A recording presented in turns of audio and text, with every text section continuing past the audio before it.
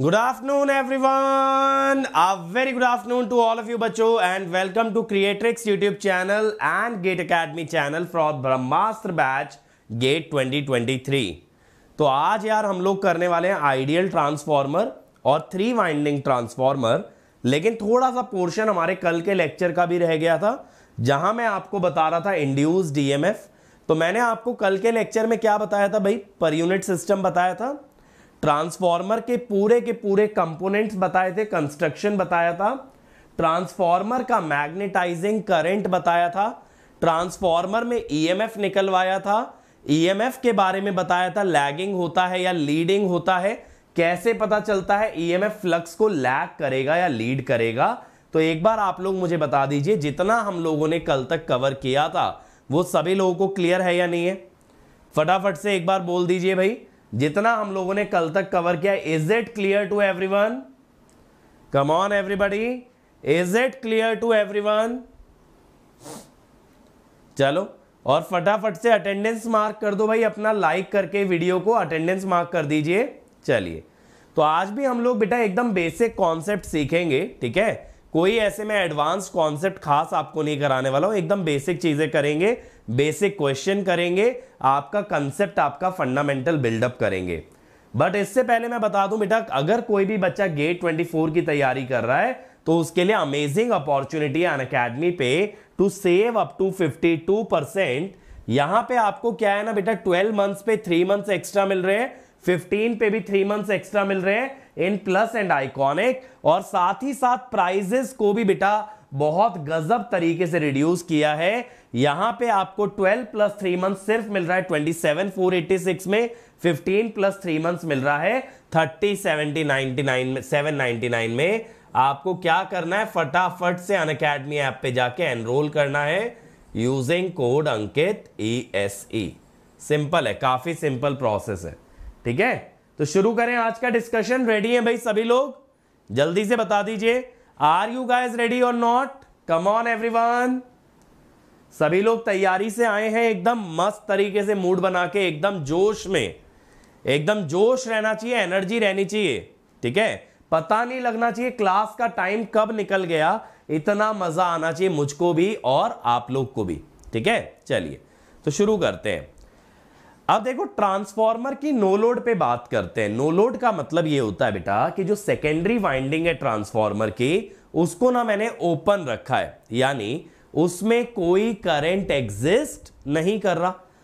ठीक है? तो हम क्या जानते हैं? देखो, जब ट्रांसफॉर्मर में कोई करंट नहीं भी एग्जिस्ट करता, तब भी प्राइमरी वाइंडिंग से एक करंट आता है सोर्स से प्राइमरी वाइंडिंग के अंदर, जो कि फ्लक्स बनाने के काम में आता है। जो करंट फ्लक्स बनाने के काम में आता है, उसको हम कहते हैं मैग्नेटाइजिंग करंट क्योंकि वो कोर को एज अ मैग्नेट बिहेव करा रहा है कोर के अंदर मैग्नेटिक फ़ील्ड सेटअप कर रहा है तो that is your magnetising current लेकिन बेटा, ये जो फ्लक्स है, ये जो फ्लक्स बन रहा है कोर में that is alternating in nature और ऑल्टरनेटिंग होने के कारण इससे आते हैं हिस्टेरेसिस और एडी करंट लॉस अब बेटा, ये जो लॉसेज होते हैं losses are always real power क्योंकि लॉसेज वो होते हैं जो हीट में कन्वर्ट हो गए। अगर कोई भी पावर हीट में कन्वर्ट हो रही है, या एक फॉर्म से दूसरी फॉर्म में कन्वर्ट हो रही है that is always a real power बात को समझेंगे? रियल पावर हमेशा वो पावर होती है which can be converted from one form to the other तो मैंने क्या बताया? कि सबसे पहले सप्लाई से एक करंट आया प्राइमरी वाइंडिंग में, जो कि फ्लक्स बनाने के काम में आया। अब ये फ्लक्स था हमारा का ऑल्टरनेटिंग जिसके कारण ट्रांसफॉर्मर में लॉसेज आने लगे हिस्टेरेसिस और एडी करंट लॉस लॉस होती है रियल पावर तो ये जो रियल पावर डिसिपेट हो रही है, ये आ कहाँ से रही है? जो पावर वेस्ट हो रही है, वो कहाँ से आ रही है? वो आ रही होगी सोर्स से। पावर आने का तो एक ही रास्ता है ना सोर्स से। तो इसी कारण से हम कहते हैं सोर्स से एक नहीं, दो करंट आएँगे। एक आएगा मैग्नेटाइजिंग कंपोनेंट, जो कि बनाएगा फ्लक्स, और एक आएगा कोर लॉस कंपोनेंट, जो कि सप्लाई करेगा कोर लॉसेस को। कोर लॉसेस का मतलब हुआ यहाँ पे बेटा दो loss, hysteresis loss and eddy current loss. Hysteresis loss and eddy current loss बात चमक रही है? बताओ। ऐसा मत सोचना, दो अलग अलग करंट आएँगे। बेसिकली करंट एक ही आएगा बेटा सोर्स से। उसको हम दो पार्ट में तोड़ रहे हैं। हम कह रहे हैं इसका एक हिस्सा तो फ्लक्स बनाने के काम में आ रहा है और एक हिस्सा रियल पावर को कंट्रीब्यूट कर रहा है to supply the losses occurring in the transformer ठीक है? अब देखो यहाँ पे हो क्या रहा है, मैं आपको ट्रांसफॉर्मर भी ड्रॉ करके बताता हूँ।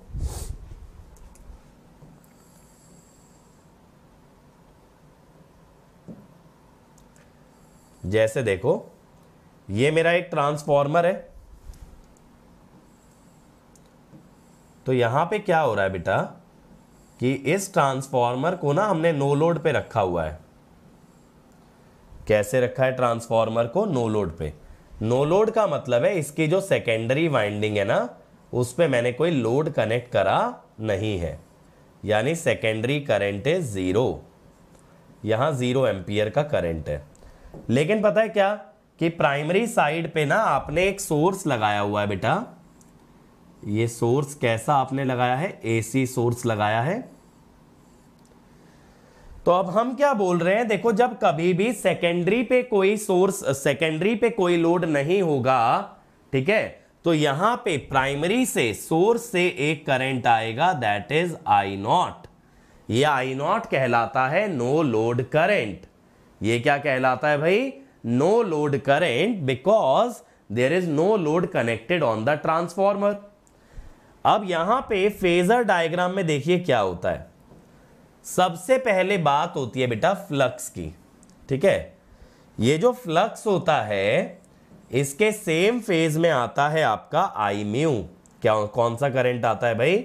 आई म्यू आई म्यू वो करंट है जो फ्लक्स बनाने के काम में आता है, ठीक है? अब हम लोग क्या कहते हैं कि फ्लक्स से ईएमएफ e 90 डिग्री लैग करता है। अब प्राइमरी और सेकेंडरी के जो ईएमएफ e होते हैं ना बेटा, वो सेम फ़ेज़ में लाई करते हैं, क्योंकि they are directly related by turns ratio simple सी बात है। जैसे माइनस ई टू और minus sorry minus E two कह रहा हूँ ई टू और E one sir E one छोटा क्यों बनाया? मैंने ये मान लिया N one less than N two ठीक है? मैंने यहाँ पे क्या मान लिया? Assumed N one less than N two इसीलिए E one less than E two हुआ। बट दोनों के दोनों सेम फ़ेज़ में आ रहे हैं। और मैं यहाँ पे क्या बोल रहा हूँ?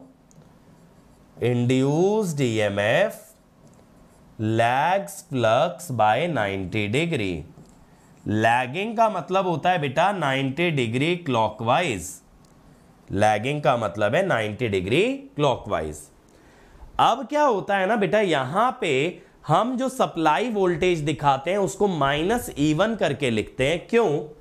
क्यों सर V1 को हम लोग डायरेक्टली E1 क्यों नहीं लिखते? क्योंकि बेटा, मुझे ना लेंस लॉ दिखाना होता है। ठीक है? मैं ऐसा लिखता हूँ V1 is minus E one for Lenz law sir minus E one से लेंस लॉ कैसे? देखो आपको पता है induced EMF opposes the cause of induction तो कॉज ऑफ़ इंडक्शन है, यहाँ पे ये जो सोर्स है V1 ये जो सोर्स है ना V1 इसके कारण ईएमएफ आ रहा है। और ईएमएफ का काम है इस वोल्टेज को अपोज करना। अगर मेरे भाई वोल्टेज को अपोज करना है तो आप क्या दिखा दीजिए? आप अपोजिट एक एरो दिखा दो माइनस ईवन का। एक्चुअली तो केवीएल से देखोगे तो वी वन बराबर है। बट आप अपोजिट दिखा रहे हो सिर्फ़ और सिर्फ़ क्या पता करने के लिए? क्या शो करना चाहते हो? कि भाई हमारा जो ईएमएफ e है, वो वोल्टेज को अपोज कर रहा है। ठीक है?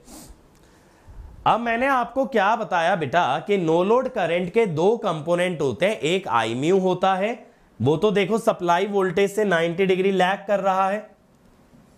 ये आपका सप्लाई वोल्टेज से 90 डिग्री लैग कर रहा है। है ना? यानी कि आई म्यू के अंदर कौन सी पावर की बात करोगे? जब करंट और वोल्टेज में 90 डिग्री एंगल होता है तो that current contribute to the reactive power जब करंट वोल्टेज में 90 डिग्री एंगल होता है तो it contribute to the reactive power इसीलिए बोल देते हैं ट्रांसफॉर्मर या किसी भी मशीन में फ्लक्स बनाने में जिस पावर का यूज़ होता है that is the reactive power क्योंकि बेटा, फ्लक्स बनाने में जो करंट यूज़ हो रहा है, वो वोल्टेज से 90 डिग्री लैग कर रहा है। इसका मतलब है वहाँ पे रिएक्टिव पावर इन्वॉल्व है। नहीं तो आप ऐसा सोच लो, फ्लक्स बनाने में इंडक्टर का यूज़ होगा और इंडक्टर में कौन सी पावर डिफाइन की जाती है? That is the reactive power reactive power लेकिन हमने क्या बोला, एक करंट और है आई डब्ल्यू जो कि लॉसेस सप्लाई कर रहा है, और लॉसेस होता है रियल पावर अगर रियल पावर की बात आपने करनी है बेटा तो आप यहाँ पे दिखाइए करंट के सेम फ़ेज़ में सॉरी वोल्टेज के सेम फ़ेज़ में करंट वोल्टेज और करंट में अगर ज़ीरो डिग्री का शिफ्ट होगा तो यहाँ पे आएगी रियल पावर कॉस फाई होती है ना। कॉस फाई होती है। तो देखो, एक करंट रियल पावर कंट्रीब्यूट कर रहा है और एक रिएक्टिव पावर लेकिन ये जो आई म्यू होता है ना, ये काफ़ी बड़ा होता है आई डब्ल्यू से। ये जो आई म्यू होता है this is bigger than I W अब ये जो दो करंट आ गए बेटा आई म्यू और आई डब्ल्यू इन दोनों का जो सम है that is called as I nought तो सप्लाई से जो करंट आ रहा है ना, वो बेसिकली दोनों का सम आ रहा है। आप समझ रहे हो बात को? तो ये देखो, ये जो रेड वाला एरो मैंने बनाया दिस इज़ आई नॉट और ये जितना करंट सप्लाई से लैग करेगा दिस इज़ फाई नॉट ये फाई नॉट जो होता है ना, ये 70 से 75 डिग्री के करीब होता है यार। और ये जो कॉस फाई नॉट होता है this is called as the no load power factor और ये वैल्यू होती है पॉइंट टू से पॉइंट थ्री ठीक है? बहुत छोटा पावर फैक्टर यानी कि नो लोड पे पावर फैक्टर कम होने का मतलब है रिएक्टिव पावर डोमिनेटिंग है। और वो तो होगी भी, क्योंकि बेटा रिएक्टिव पावर वाला करंट डोमिनेट कर रहा है ना।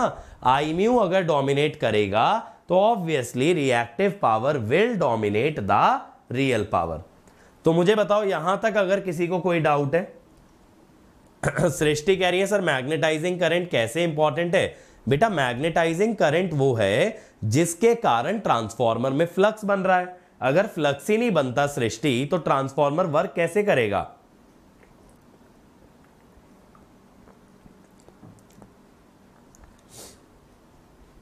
ठीक है? क्लियर हुआ भाई? बताइए सभी लोग एक बार। आगे चला जाए। अब देखो यार, हमें क्या पता है कि अगर हम सर्किट बनाने पे आए, है ना? तो हमने ये देखा कि प्राइमरी में जो सप्लाई लगी है ना, उससे करंट दो पार्ट में डिवाइड हो रहा है। एक जो कि 90 डिग्री लैग कर रहा है और एक जो वोल्टेज के सेम फ़ेज़ में है।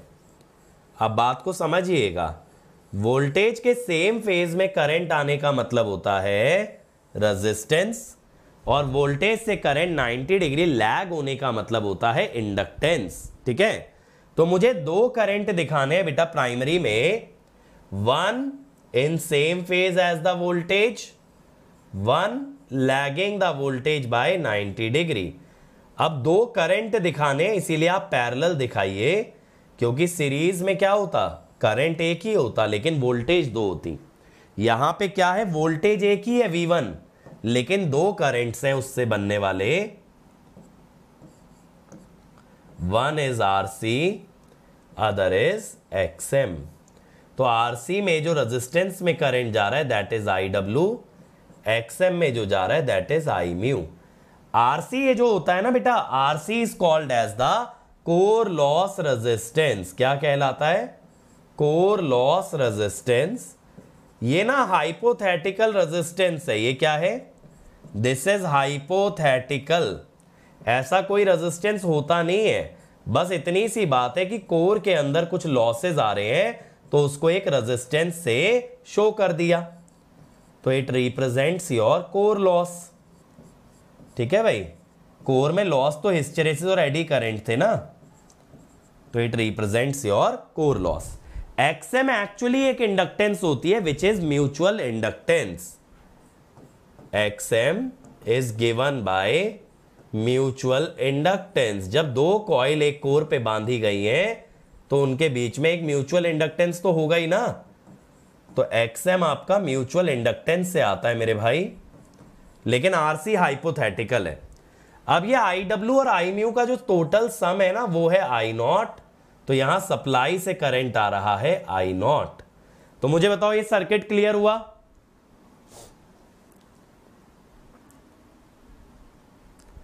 मोहन भाई, अभी मैं हार्मोनिक्स के बारे में कोई बात नहीं करूँगा, ऐसे रैंडम डाउट पूछोगे, उस पर चर्चा नहीं करेंगे। क्योंकि बाकी लोग भी डिस्टर्ब हो जाते हैं। जब हार्मोनिक्स पढ़ाऊँगा ट्रांसफॉर्मर के अंदर, तब बात करना। बात क्लियर हो गई? चलिए। अब देखो, इसी ट्रांसफॉर्मर में अगर हम लोड लगा दें, तब क्या होगा? अगर इसी ट्रांसफॉर्मर में लोड लगा दें, तब क्या होगा? लोड लगाते ही बेटा सेकेंडरी वाइंडिंग में वोल्टेज तो पैदा हो ही रही थी। अब उसमें करंट भी आने लग जाएगा। अब ये जो सेकेंडरी वाइंडिंग का करंट है, ये लेंस लॉ के अनुसार एक फ्लक्स पैदा करेगा और ये फ्लक्स अपोज करेगा प्राइमरी के फ्लक्स को। ठीक है, ये फ्लक्स अपोज करेगा प्राइमरी के फ्लक्स को। देख रहे हो स्पैम करने आ गए भाई। काहे मेरे सेशन को स्पैम करते हो बंधु? यहाँ हम और बच्चे आपस में मिल करके अच्छे से पढ़ाई कर ले रहे हैं, बर्दाश्त नहीं हो रहा है क्या भाई? बताओ। बताओ भाई, यहाँ तक बात क्लियर है? तो देखो, मैं क्या बोल रहा हूँ सेकेंडरी साइड में एक वोल्टेज तो पैदा हो ही रही है। अब इस वोल्टेज से एक करंट भी पैदा होने लगेगा ड्यू टू द लोड अरे मेरे भाई प्लीज़ स्पैम मत करो। देखो, मेरे से तुम्हारी, तुमसे एक छोटी सी रिक्वेस्ट है। प्लीज़ मेरे सेशन को स्पैम मत करो। मेरे साथ जितने भी बच्चे हैं, उनको मैं पढ़ाना चाहता हूँ, मुझे पढ़ा लेने दो। जो टॉपिक मैं आज कवर करने आया हूँ, उसको कवर कर लेने दो। ठीक है? क्योंकि यहाँ पे जो है ना, बच्चे बहुत सिंसियरली पढ़ते हैं। तुम्हें ये सब जो बकर पेलनी है, ये कहीं और जाके पेलो प्लीज़ दूसरे चैनल पे। हाँ जी। अब सुनो ध्यान से। मैं क्या बोल रहा था? हाँ जब हमने सेकेंडरी पे लोड लगाया तो सेकेंडरी में करंट आने लगा, और लेंस लॉ के अनुसार, ठीक है? लेंस लॉ के अनुसार ये जो करंट है, इससे जो फ्लक्स बना ये प्राइमरी के फ्लक्स को अपोज करेगा। अब भाई प्राइमरी के फ्लक्स को अपोज करेगा तो प्राइमरी के फ्लक्स को ना ये घटाने की कोशिश कर रहा है। ये क्या कर रहा है? ये प्राइमरी के फ्लक्स को घटाने की कोशिश कर रहा है। अगर बेटा ये प्राइमरी के फ्लक्स को घटाने की कोशिश करेगा, कल मैंने आपको बताया था, जब तक आपका वोल्टेज और फ्रीक्वेंसी फिक्स है फ्लक्स नहीं बदल सकता। ठीक है? फ्लक्स नहीं बदल सकता। तो भैया अब ये फ्लक्स तो घटा रहा है। अब प्राइमरी क्या करेगा? प्राइमरी फ्लक्स को बढ़ाएगा। कहेगा, जितना तू मुझे घटाने की कोशिश करेगा, भाई मैं उतना ही बढ़ा भी लूँगा फ्लक्स तेरा असर नहीं आने दूँगा। लाइफ में भी ऐसा ही होना चाहिए यार। जब आपने एक दृढ़ संकल्प कर लिया है ना, आपको गेट रैंक चाहिए, आपको सफलता चाहिए तो बहुत सारी अड़चने आएँगी। बहुत सारे लोग अपोज करेंगे, जैसे अभी देखो ये गणेश आके कर रहा है। तो ऐसे बहुत सारे लोग आपके रास्ते में ऑब्स्टेकल बनेंगे। लेकिन जितना वो एफर्ट मारे आपको रोकने में, आप अपना एफर्ट उतना ही इंक्रीज कर लेना ताकि आपका जो नेट एफर्ट है, वो आपको आगे ही आगे ले जाता रहे। तो दुनिया जितनी रोकने की कोशिश करेगी, उतना ही हम एफर्ट ज़्यादा करेंगे, उतना ही ज़्यादा हम इनपुट देंगे। तो यानी कि जब जब सेकेंडरी में लोड करंट फ्लो होगा तो प्राइमरी कहेगी, भाई साहब सोर्स से और करंट मुझे चाहिए। मुझे और इनपुट चाहिए ताकि इसको भी मैं कैंसिल कर पाऊँ। ठीक है? इसको भी मैं कैंसिल कर पाऊँ। बात समझ रहे हैं? बात समझ रहे हैं भाई? तो एक तो रीजन ये हुआ। दूसरा रीजन एक और समझो। बेटा, जब आपने सेकेंडरी पे लोड लगा दिया, जब आपने सेकेंडरी पे मेरे भाई लोड लगा दिया तो लोड कुछ पावर तो ड्रॉ करेगा ऑब्वियसली करेगा करेक्ट अब ये पावर कहाँ से आए? आपने बोला हिस्टेरेसिस और एडी करंट लॉसेस जो हो रहे हैं, वो तो सोर्स ने सप्लाई कर दिया आईडब्ल्यू से। जो फ्लक्स बनाने में रिएक्टिव पावर चाहिए थी, वो सोर्स ने सप्लाई कर दी आई म्यू से। अरे तो भैया, जो लोड पावर ले रहा है रियल और रिएक्टिव वो कौन देगा? वो भी तो सोर्स देगा। तो आप इस तरह से भी सोच सकते हो, जितनी पावर लोड कंज्यूम करेगा करेस्पॉन्डिंग पावर सोर्स से आने चाहिए और करेस्पॉन्डिंग पावर सोर्स से आने के लिए भाई आपको क्या चाहिए? आपको क्या चाहिए? आपको एक एक्स्ट्रा करंट चाहिए। यानी अब ट्रांसफॉर्मर में दो नहीं, तीन करंट आएँगे सप्लाई से। आई म्यू फ्लक्स बनाने के लिए आई डब्ल्यू कोर लॉसेस के लिए और एक तीसरा करंट जो कि सेकेंडरी वाले फ्लक्स को कैंसिल करेगा। कैंसिल करेगा। बताइए, बात क्लियर हो गई? बात क्लियर हो गई भाई। बताइए जल्दी से। इतनी बात क्लियर हो गई? जल्दी से बताओ फील आया या नहीं आया? दो रीजन मैंने बताए। फ्लक्स को कांस्टेंट रखना है तो सेकेंडरी के एफर्ट को काटना होगा। सेकेंडरी जो लोड में पावर एब्जॉर्ब कर रही है, वो सप्लाई से लाना होगा। इन दोनों कारणों से एक ही बात साबित होती है कि सोर्स से एक एक्स्ट्रा करंट आना चाहिए। ठीक है? तो देखो, यहाँ पे क्या होता है ना? देखो सोर्स से जो एक्स्ट्रा करंट आ रहा है, उसको हम आई वन डैश लिख देते हैं और हम ऐसा बोलते हैं कि N one I one dash is N two I two यानी कि load component of primary MMF load component of primary MMF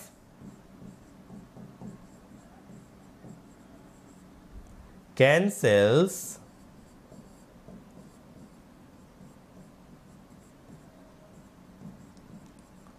Secondary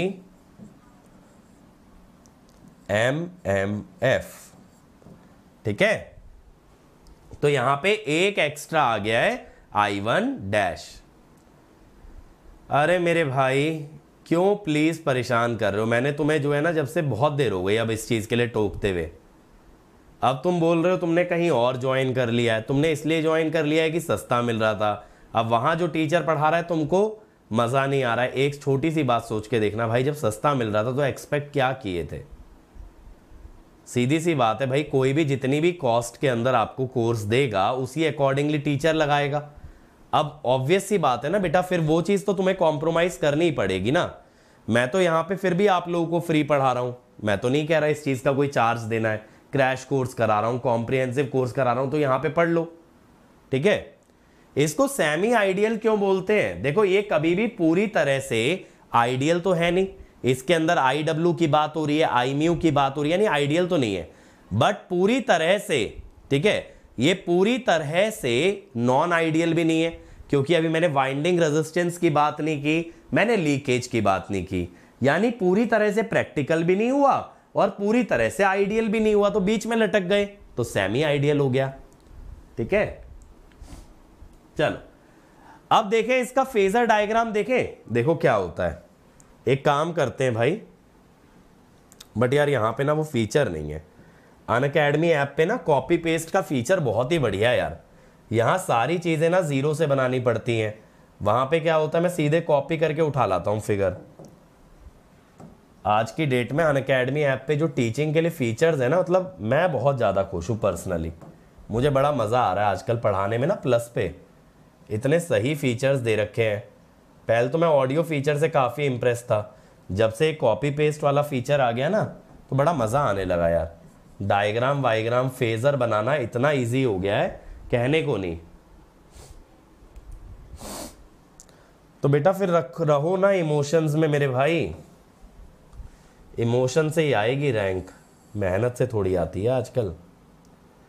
मुझे क्यों परेशान कर रहे हो बताओ? मैं तो तुमसे नहीं कह रहा कि अन अकेडमी ज्वाइन करो, फलाना इंस्टीट्यूट ज्वाइन करो। एंजॉय करो लाइफ ठीक है? ये I one I E one E two आ गए। अब मैंने क्या बताया था बेटा? ई वन से अपोजिट बनाओगे वी वन एक तरह से माइनस ई वन बनाओगे।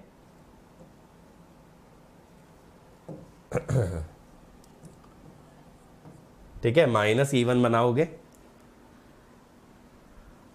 तो ये हो गया वी वन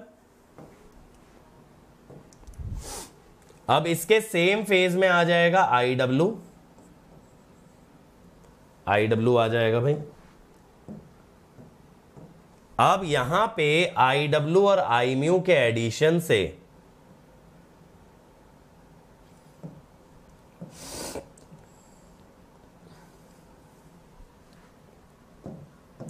क्या आ जाएगा? किसी और रंग से बना लेते, चलो इससे बना लेते हैं, बहुत दिन हो गए इसको यूज़ किए थोड़ा सा। ये आ जाएगा आई नॉट ठीक है? नज़र आ रहा है ना सबको बढ़िया से। अब मैं क्या कहता हूँ, मैंने सेकेंडरी पे जो लोड लगाया बेटा सेकेंडरी पे जो लोड लगाया, वो लोड लैगिंग मान लो, ठीक है? सेकेंडरी पे जो लोड लगाया, उसको लैगिंग मान लो। अगर लैगिंग मान लोगे बंधु तो वो जो लोड का करंट आएगा ना, वो E2 से थोड़ा लैगिंग आ जाएगा। ये देखो। लैगिंग आ गया ना। अब मैं क्या बोल रहा हूँ बेटा प्राइमरी में जो इसके करस्पॉन्डिंग करंट आएगा, उसका काम ये होगा, इसके एमएमएफ को काटना। उसका काम क्या है? इसे कंपेंसेट करना।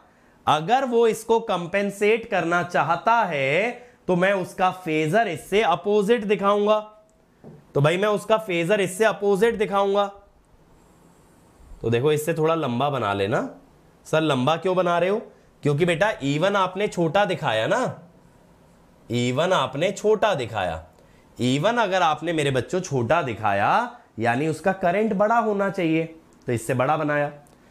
अब आई वन डैश और आई नॉट दोनों के दोनों मिल करके बेटा आपके सप्लाई से ही आ रहे होंगे। तो आई वन डैश में आप आई नॉट को जोड़ लीजिए।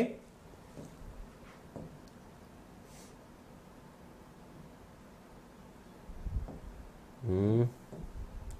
देखना सही बन रहा है कि नहीं? सही दिख रहा है ना? हाँ चलो अप्रोक्सीमेट तो ठीक ही है।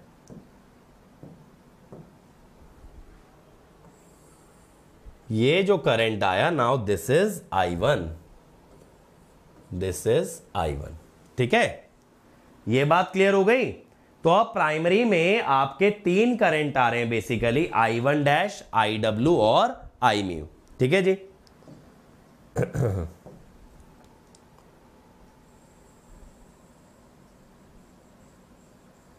अब देखिए।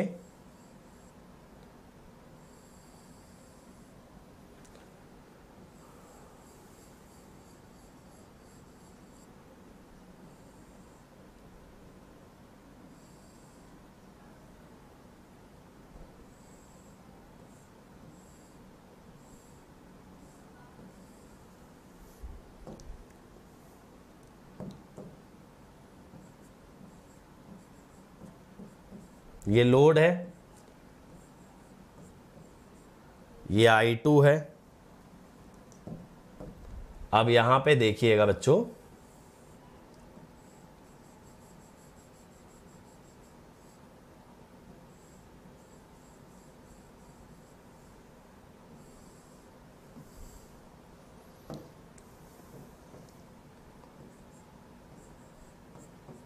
ये वाला करंट आई वन डैश है।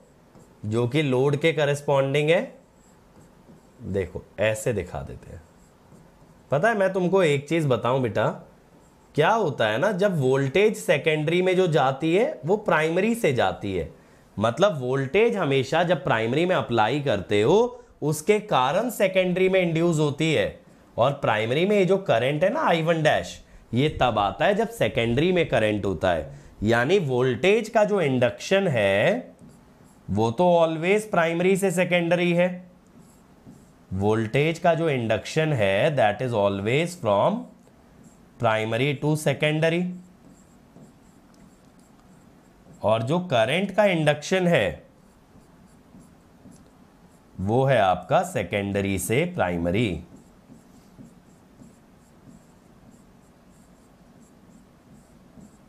और बेटा, अगर कोई डाउट आ रहा है तो थोड़ा सा थम जाओ ना। मतलब मैं ये थोड़ी है, सारा कुछ पढ़ाना लिखाना छोड़ के पहले डाउट ही आंसर कर दूँ, बताओ। थोड़ा सबर कर लो डाउट भी आंसर करेंगे। हिस्टेरेसिस लॉस तो फ्लक्स से ही होगा और फ्लक्स मैग्नेटाइजिंग करंट से होगा। तो हिस्टेरेसिस लॉस के लिए दूसरा करंट क्यों लिया? देखो, बात आपकी एकदम सही है बेटा। हिस्टेरेसिस लॉस फ्लक्स से होगा और फ्लक्स बनाने वाला कौन सा करंट है? मैग्नेटाइजिंग करंट लेकिन मैग्नेटाइजिंग करंट क्योंकि वोल्टेज से 90 डिग्री लैग कर रहा है तो it is not representing it is not representing the real power तो इसलिए रियल पावर के लिए एक एक्स्ट्रा करंट मैंने लिया आई डब्ल्यू अब मैं क्या कह सकता हूँ कि सोर्स से जो करंट आ रहा था, वो था आई नॉट आई नॉट से ही फ्लक्स भी बन रहा था और आई नॉट से ही आपके लॉसेस भी आ रहे थे। बात समझ आई ज्योति? ये आई म्यू तो बेटा रिएक्टिव पावर दे रहा है ना रिएक्टिव पावर में लॉसेस तो नहीं आए। और डब्ल्यू सिर्फ़ रियल पावर दे रहा है। यानी ये दोनों में कोई भी पूरी पिक्चर बता ही नहीं रहा है। तो मैंने बोला, दोनों जुड़ के जो बना आई नॉट अब ये पूरी पिक्चर बता रहा है नो लोड करंट ही फ्लक्स बनाने के लिए भी जिम्मेदार है और उस फ्लक्स से आने वाले लॉसेस के लिए भी जिम्मेदार है। बात क्लियर हो गई? बात क्लियर है भाई? चलिए। सबको ये फेजर डायग्राम वगैरह मस्त तरीके से क्लियर है ना एकदम? और थोड़ा सा डाउट आता है तो भैया लोग सबर कर लिया करें आप लोग। सारे डाउट्स आंसर किए जाएँगे, सारी चीज़ें क्लियर होंगी भाई। इस बार ये जो मैं क्रैश कोर्स ले रहा हूँ, देखो, इससे पहले उम्मीद बैच में लिया था। वो थोड़ा कंसाइज है, इसको थोड़ा और कॉम्प्रिहेंसिव बनाने की कोशिश कर रहा हूँ, ताकि जिन बच्चों का बेस कमज़ोर है ना, वो लोग भी फॉलो कर पाए।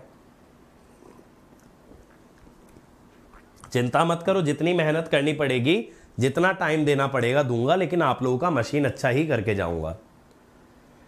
अब देखो, अगर ट्रांसफॉर्मर में वाइंडिंग रेजिस्टेंस लगा दिया जाए वाइंडिंग रेजिस्टेंस का क्या लॉजिक है सर देखो, क्या होता है बेटा? जो भी हमारी कॉइल होती है ट्रांसफॉर्मर की that is made up of copper अब अगर ये कॉपर से बनी हुई तार है तो ऑब्वियसली इसके अंदर कुछ ना कुछ रेजिस्टेंस ज़रूर होगा। मानते हो सभी लोग?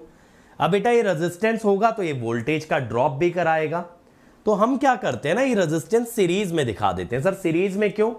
क्योंकि बेटा, इस रेजिस्टेंस में वही तो करंट जाएगा जो वायर में जा रहा है। वायर खुद रेजिस्टेंस है। तो जो वायर का करंट है, वही रेजिस्टेंस का करंट है। इसीलिए इसको किसमें दिखाया गया? सीरीज़ में। ये लॉसेस भी कराएगा ohmic loss I square R और ये वोल्टेज ड्रॉप भी कराएगा। ठीक है? वोल्टेज ड्रॉप भी कराएगा। तो यहाँ पे देखिए वोल्टेज ड्रॉप मैंने डाल दिया एक आई वन आर वन और इधर सेकेंडरी में डाल दिया एक आई टू आर टू ठीक है? मैंने वोल्टेज ड्रॉप डाल दिया ना एक आई वन आर वन और एक आपका बेटा आई टू आर टू बात समझ में आ रही है? अब देखो क्या होता है। अगर हम बात करें कॉपर लॉस की कॉपर लॉस क्या होता है ना? ये जो रेजिस्टेंस है, इसमें आने वाला लॉस सर कॉपर लॉस क्यों बोल रहे हैं? क्योंकि बेटा वाइंडिंग कॉपर से बनी है। तो कॉपर की वाइंडिंग में जो भी लॉसेज आ रहे हैं that is set to be copper loss तो कॉपर लॉस को आप क्या बोलोगे? I one square R one plus I two square R two ठीक है, ये हो गया। मैंने दोनों तरफ़ के लॉसेस को ऐड कर लिया। एक तरफ़ आई वन करेंट था, एक तरफ़ आई टू था। ठीक है? अब बेटा, अगर मैं इग्नोर कर रहा हूँ ना, ध्यान से सुन लेना, अगर मैं इग्नोर कर रहा हूँ आई नॉट तो मैं ये कह सकता हूँ कि I one N one I one इसी को एमएमएफ बैलेंसिंग भी कहते हैं। कि प्राइमरी और सेकेंडरी के एमएमएफ बराबर है ताकि नेट एमएमएफ आपका ज़ीरो हो जाए। समझ रहे हो? आई नॉट को इग्नोर क्यों किया? वरना N one I one dash लिखते ना यार। अभी मैंने कॉम्पेंसेशन इफ़ेक्ट में कौन सा करंट यूज़ किया था? आई वन डैश लेकिन मुझे लॉसेज में कौन सा करना है? आई वन तो मैं बोल रहा हूँ आई वन और आई वन डैश बहुत करीब करीब है। क्या होता है ना? ये जो आई नॉट होता है बेटा I naught is approximately four to six percent of full load current ठीक है? तो इट इज़ वेरी स्मॉल जिसके अंदर की आई डब्ल्यू जो होता है, वो एक से दो परसेंट होता है। आई डब्ल्यू मतलब बहुत ही छोटा होता है। और जो आईम्यू होता है, वो तीन से पाँच परसेंट तक होता है। ठीक है? तो इतना जो छोटा करंट है ना, उसको इग्नोर कर दिया ताकि आई वन आई टू में डायरेक्टली हम लोग रिलेशन लिख सके। क्या आई वन की जगह आई नॉट लिख दिए? कहाँ पे? इग्नोर ही तो किया आई नॉट ठीक है? अब इसका मतलब क्या हुआ कि अगर I2 को आप चाहो तो ऐसे लिख सकते हो। N1 one by N two I one अगर यहाँ पे पुट करोगे बेटा तो कॉपर लॉस क्या हो गया? आई वन तो कॉमन आ जाएगा ना I one square R one plus R two R two के साथ एक एन वन बाई एन का स्क्वायर बन गया, क्योंकि आई टू का स्क्वायर था ना तो ये टर्म स्क्वायर में आ गई। और आप अगर चाहो तो आप ये भी लिख सकते हो। तो I two is N one sorry I one is चाहो तो ऐसे लिख लो I one is N two by N one into I two तो आप चाहते ना तो इसको पूरे को आई टू में भी निपटा सकते थे। इसका पता है मतलब क्या होता है? इसका मतलब होता है कि आपने रेजिस्टेंस पूरा का पूरा एक तरफ़ रेफर कर लिया। मतलब क्योंकि करंट एक ही ले रहे हो ना? या तो करंट प्राइमरी का ले रहे हो, या तो करंट सेकेंडरी का ले रहे हो। दोनों करंट तो ले नहीं रहे हो। इक्वलेंट सर्किट में। आई वन ये तो आई वन ही है। और कहाँ पे? यहाँ पे भी सही है। आई नॉट ही तो आ रहा था। अभी तो नो लोड था ना। अभी यहाँ पे तो ज़ीरो एम्पियर था ना। तो यहाँ पे भी ज़ीरो एम्पियर था। तो आई वन और आई नॉट बराबर तो थे भाई। आई वन ही होगा बेटा, जो भी ट्रांसफॉर्मर करंट ड्रॉ कर रहा है, वो तो हमेशा आई वन होगा। अब उसमें देखना पड़ेगा, प्रखर आप आई नॉट इग्नोर कर सकते हो यानी इग्नोर कर सकते हो तो आई वन और आई वन डैश बात एक ही है। बाकी ट्रांसफॉर्मर जो सप्लाई से करंट लेता है that is always I one. अब नो लोड पे वही आई वन आई नॉट हो जाता है। अब यहाँ पे बेटा क्या होता है ना, यहाँ पे हम ये कहते हैं R zero one is equivalent resistance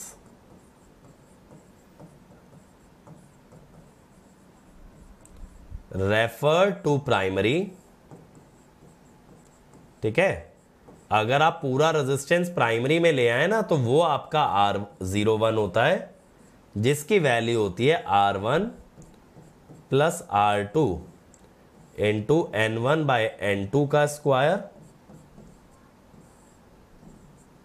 और आर ज़ीरो टू होता है equivalent resistance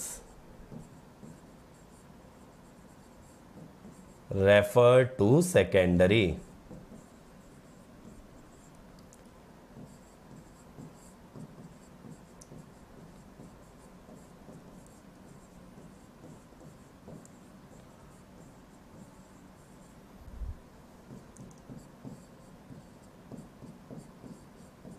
ठीक है? तो R2 तो सेकेंडरी पे था, आप R1 को सेकेंडरी ले गए। तो ये हो गया। तो आप चाहो तो लॉसेस एक ही तरफ़ से निकाल लो और आप चाहो तो लॉसेस दोनों तरफ़ के निकाल के ऐड कर दो। आपकी इच्छा है लॉसेस दोनों तरह से निकाले जा सकते हैं। तो कॉपर लॉस का कॉन्सेप्ट क्लियर है? बाकी मैं ना ज़्यादा बातें कॉपर लॉस की तब करूँगा जब मैं लॉसेस के बारे में बात करूँगा। रुपेश, ये वाला कोर्स थोड़ा ज़्यादा स्लो है। ज़्यादा बेसिक से एज कंपेयर टू उम्मीद क्रैश कोर्स ठीक है? अब देखो, इससे पहले मैं लीकेज फ्लक्स पे जाऊँ, मैं आपको इसका भी फेजर समझाता हूँ। सबसे पहले देखो, हमने बनाया यहाँ पे फाई ठीक है? फाई के सेम फ़ेज़ में आता है आई म्यू आप सभी लोग अच्छे से जानते हो।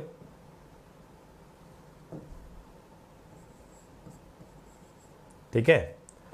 आई म्यू से 90 डिग्री लैगिंग आता है ई e वन और ई टू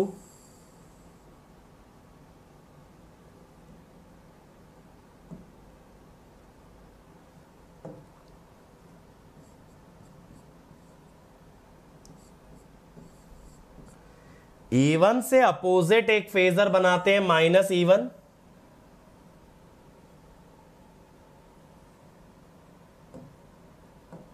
थोड़ा छोटा बना लेते हैं। ठीक है? माइनस ईवन अब E one minus E one के सेम फ़ेज़ में मैं बनाता हूँ आई डब्ल्यू आई म्यू और आई डब्ल्यू को जोड़ करके बनता है आई नॉट।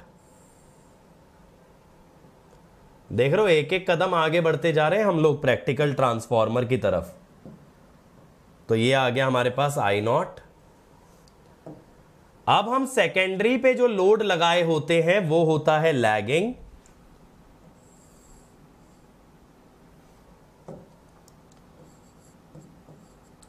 ये लैग कर रहे हैं भाई साहब। अब इसका अपोजिट फेजर हम बनाते हैं प्राइमरी करंट का आई वन डैश का। अपोजिट क्यों बनाते हैं? टू सेटिस्फाई लेंस लॉ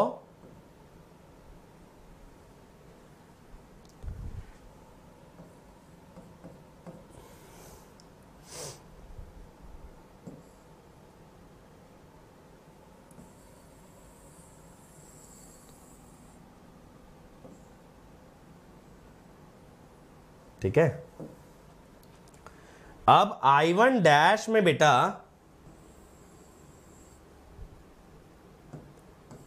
हम लोग आई नॉट को ऐड कर देते हैं, देख रहे हो? मस्त।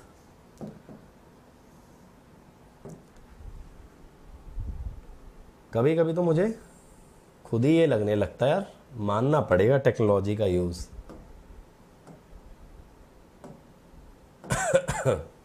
ठीक है, ये आई वन डैश में आई नॉट ऐड कर लिया।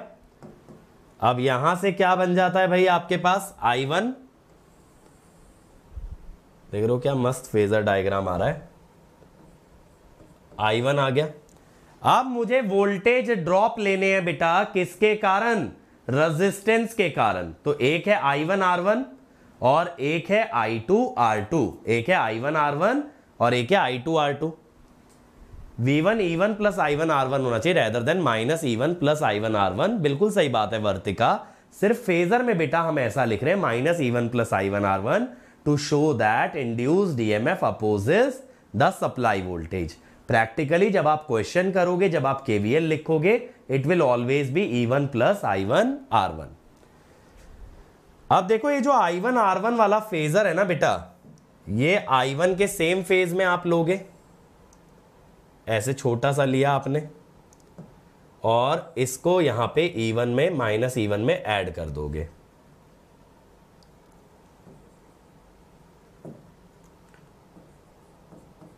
ठीक है? ऐसे ही आप I2 R2 का एक फेजर लोगे I2 के सेम फ़ेज़ में, और फिर आप इसको उठा के E2 में ऐड कर दोगे। E2 में से तो बल्कि बेसिकली सब्ट्रैक्ट करना है तो सब्ट्रैक्ट कर दोगे। ऐसे। तो अब यहाँ से जो रिजल्टेंट फेजर आपका बनेगा ना बेटा, ये देखो। ये बनेगा वी वन ठीक है? और इधर से जो बनेगा that will be V two तो इस टाइप से हमने वाइंडिंग के रेजिस्टेंस को भी कंसीडर कर लिया। ठीक है? इस टाइप से हमने वाइंडिंग के रेजिस्टेंस को भी इंक्लूड कर लिया। अब आप लोगों को याद है, कल मैंने आपको बताया था ट्रांसफॉर्मर में एक होता है लीकेज फ्लक्स लीकेज फ्लक्स कौन सा होता है बेटा? जो एक ही वाइंडिंग को लिंक करता है और दूसरी वाइंडिंग तक नहीं जाता। कैसे? क्योंकि ये एयर से अपना पाथ पूरा कर लेता है। मैं आपको ड्रॉ करके दिखाता हूँ। और ऐसा ना दोनों वाइंडिंग्स पे होगा। देखो, मैं आपको बना के दिखाता हूँ पूरा। आपको ज़्यादा अच्छे समझ आएगा।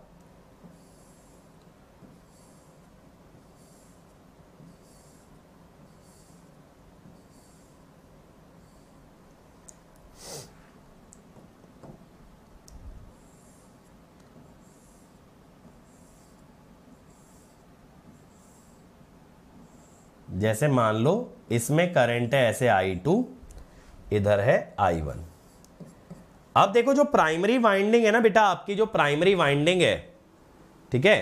प्राइमरी वाइंडिंग जो है, उसका फ्लक्स कैसा बनेगा? अपवर्ड्स बनेगा। अपवर्ड्स बनेगा ना? तो देखो, उसका फ्लक्स ऐसे आ जाएगा क्लॉकवाइज ये प्राइमरी वाइंडिंग का म्यूचुअल फ्लक्स है। कौन सा फ्लक्स है ये? ये है फाइव एम वन। प्राइमरी का म्यूचुअल, क्योंकि ये दोनों वाइंडिंग से पास हो रहा है। साथ ही साथ बेटा क्या होगा ना, प्राइमरी से एक और फ्लक्स बनेगा आपका। ठीक है? ये फ्लक्स कैसा होगा, ये भी जाएगा ऊपर ही। लेकिन ऐसे करके एयर से अपना रास्ता पूरा कर लेगा। गया देखो ऊपर ही। लेकिन एयर से रास्ता पूरा कर लिया।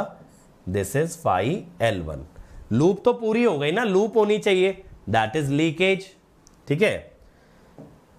अब सेकेंडरी का जो फ्लक्स बनेगा बेटा, वो भी ऊपर की तरफ़ बनेगा। तो सेकेंडरी का फ्लक्स अगर मैं बनाता हूँ, देखना। ये सेकेंडरी का म्यूचुअल हो गया।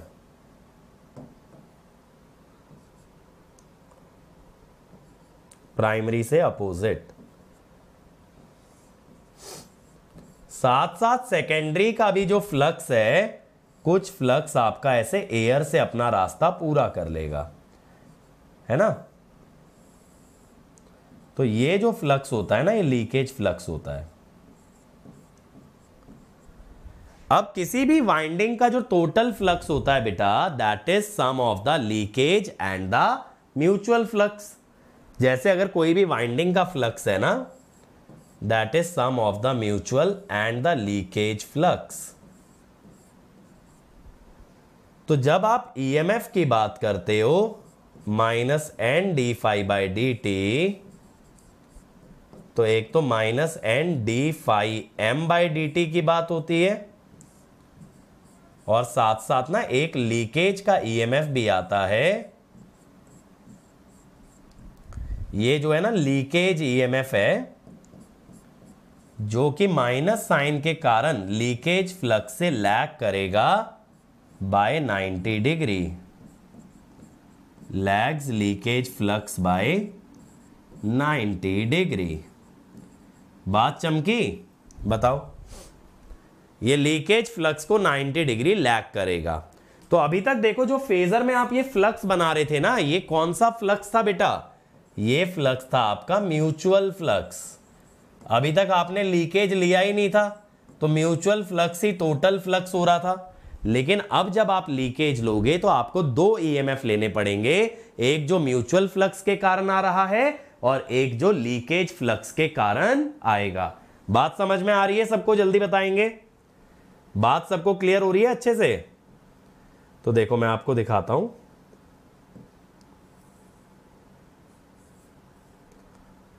तो देखो, ये वाला जो फ्लक्स है म्यूचुअल फ्लक्स हो गया बेटा। अब साइड बाय साइड आप ना एक फ्लक्स ऐसे भी दिखाते हो। In same phase as the current क्योंकि करंट ही लीकेज फ्लक्स को जन्म दे रहा है। आई वन के सेम फ़ेज़ में फाइव एल वन और आई टू के सेम फ़ेज़ में फाइव एल टू ठीक है? आई वन के सेम फ़ेज़ में फाइव एल वन और आई टू के सेम फ़ेज़ में फाइव एल टू अब फाइव एल वन से बेटा 90 डिग्री लैगिंग होगा E L one.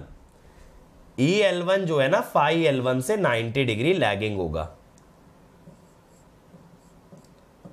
Lags phi L one by ninety degree. 90 degree clockwise लिया है ना मैंने, लैगिंग के चक्कर में। और ऐसे आई टू से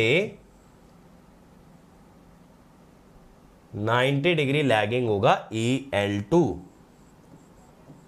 यहाँ से देखो 90 डिग्री लैगिंग। समझे? तो इस तरह से लीकेज ईएमएफ भी आ जाएगा। लीकेज फ्लक्स क्यों आया? नवीन देखो, जब फ्लक्स बनाया एक वाइंडिंग ने तो बेटा उस फ्लक्स के पास दो चॉइसेस थी। या तो वो कोर में रह जाता, आराम से कोर से अपना रास्ता पूरा करता, या वो एयर से कर लेता। अब ऐसा सोचो कि दो रिलक्टेंस हैं आपके सामने, एक है कोर की रिलक्टेंस, एक है एयर की रिलक्टेंस। ऑब्वियसली कोर का रिलक्टेंस काफ़ी कम होगा, क्योंकि कोर का परमिएबिलिटी बहुत ज़्यादा होता है राइट कोर का रिलक्टेंस बहुत कम होगा, क्योंकि कोर का परमिएबिलिटी बहुत ज़्यादा होता है। अब आप ऐसा सोचो, एक एनालॉजी मैं आपको देता हूँ। मान लो आपके पास 10 एम्पियर का करंट है, और दो रेजिस्टेंस लगे हैं पैरेलल में, यानी करंट के पास दो रास्ते हैं। एक रास्ते का रेजिस्टेंस है वन ओम और एक रास्ते का रेजिस्टेंस है हंड्रेड ओम तो नवीन, मुझे यह बताओ कि करंट कौन से रास्ते से जाएगा? करंट आपके पास 10 एम्पियर का है, उसके सामने दो रास्ते हैं, एक रास्ते का रेजिस्टेंस है वन ओम और एक का है हंड्रेड ओम। तो करंट कौन सा रास्ता पकड़ेगा? बताइए। Which path will it take low resistance नहीं, वो दोनों रास्ते से जाएगा। लेकिन ज़्यादा करंट जाएगा आपका वन ओम से। ज़्यादा करंट पूरा करंट नहीं। कभी भी ऐसा नहीं होता कि पूरा का पूरा करंट वन ओम से चला जाए। मैक्सिमम करंट वन ओम से जाएगा हंड्रेड ओम से बहुत कम जाएगा as per the current division rule ऐसी बेटा एयर की रिलक्टेंस तो ज़्यादा थी, लेकिन क्या उससे जाने वाला फ्लक्स ज़ीरो हो जाएगा? नहीं। थोड़ा सा फ्लक्स एयर से पास होगा, ज़्यादातर फ्लक्स कम रिलक्टेंस वाला पाथ पकड़ेगा, यानी कोर वाला। यानी टोटल फ्लक्स का ज़्यादातर हिस्सा कोर से जाएगा और थोड़ा सा हिस्सा एयर से जाएगा। जो थोड़ा सा हिस्सा एयर से गया, वो कहलाया लीकेज फ्लक्स क्योंकि वो दूसरी वाइंडिंग तक पहुँचा ही नहीं। यहाँ से चला तो सही इस वाइंडिंग से, लेकिन दूसरी वाइंडिंग तक नहीं पहुँचा, यानी लीक कर गया। और जो फ्लक्स कोर में रहा, वो दूसरी वाइंडिंग तक भी पहुँचा।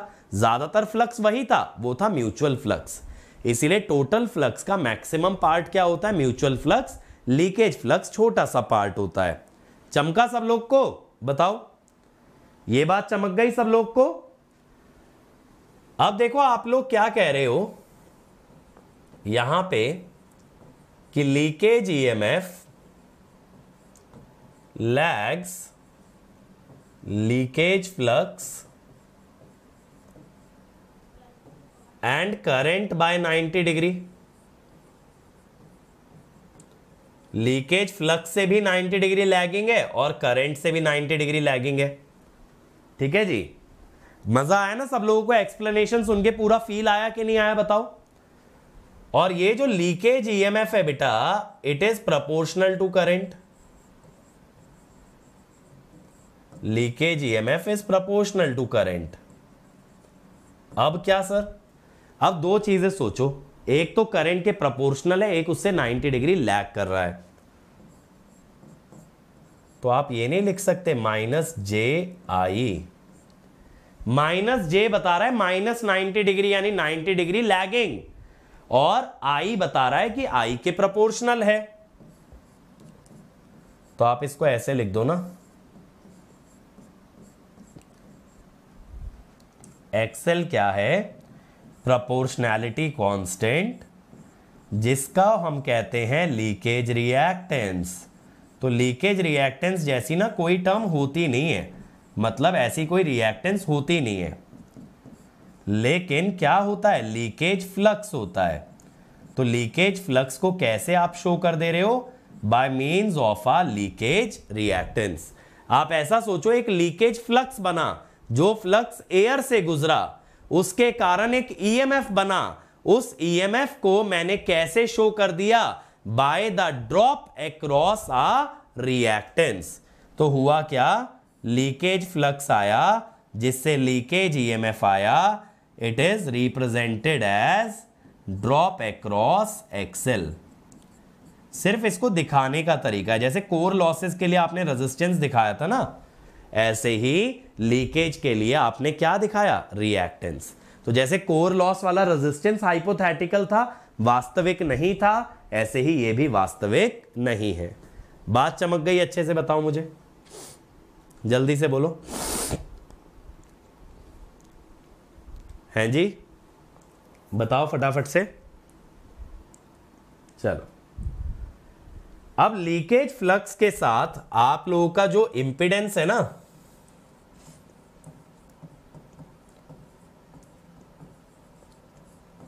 सीरीज़ इंपिडेंस जो आया प्राइमरी साइड पे हो गया।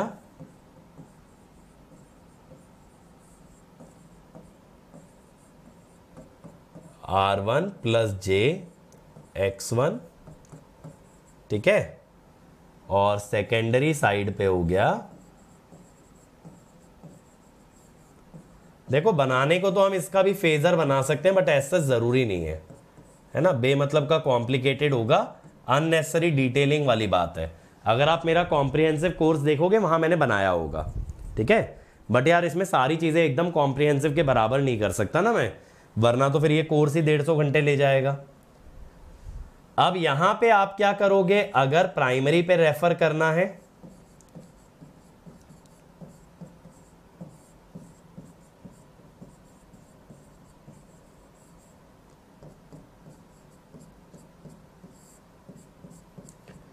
तो आप सेकेंडरी वाली इंपीडेंस को प्राइमरी पे ले आइए।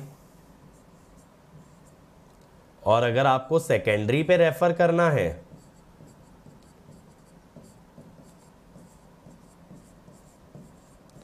तो आप सेकेंडरी पे प्राइमरी वाली इंपिडेंस को ले जाइए।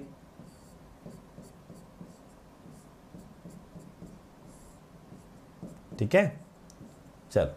तो देखो, अभी तक मैंने जितना भी पढ़ाया पहले इस पे क्वेश्चन कराता हूँ, फिर मैं आइडियल ट्रांसफॉर्मर की बात करता हूँ। इक्वलेंट रेजिस्टेंस और रिएक्टेंस तो हो गया ना हमारा। चलो, ये देखना। A 200 by 100 volt 50 hertz transformer is to be excited at 40 hertz from the 100 volt side. For the exciting current to remain the same, the applied voltage should be. देखो एक्साइटिंग करंट वैसे तो आई नॉट की बात करता है exciting current का मतलब क्या होता है it refers to I naught but no mention of core loss core loss के बारे में कोई बात नहीं की गई है। तो आप आई डब्ल्यू को इग्नोर कर दीजिए।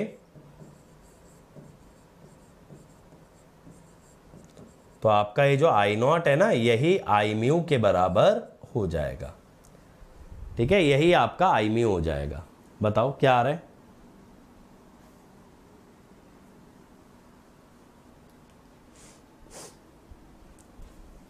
सौरभ कह रहे हैं, डी, बाकी लोग बोलिए भाई.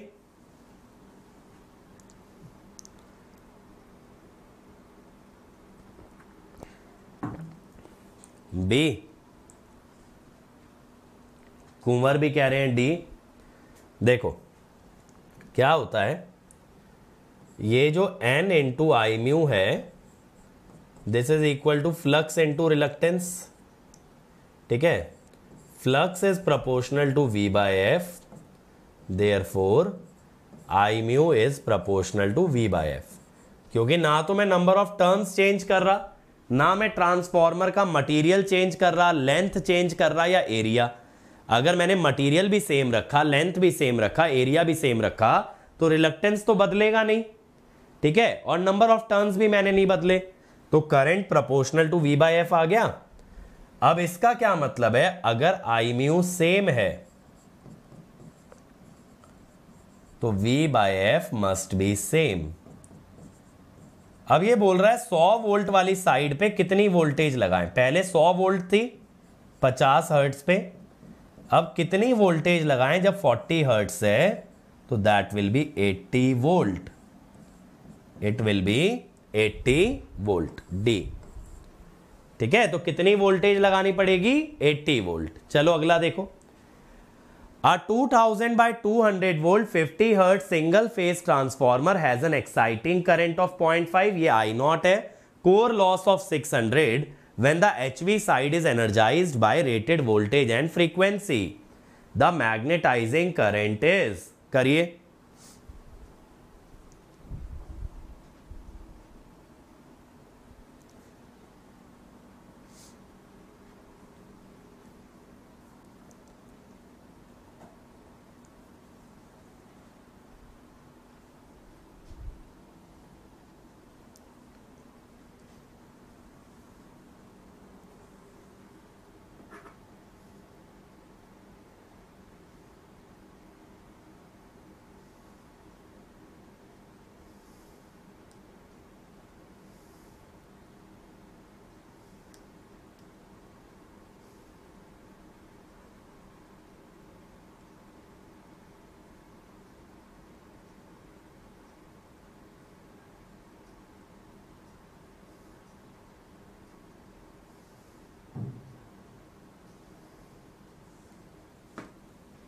बताओ भाई, आया?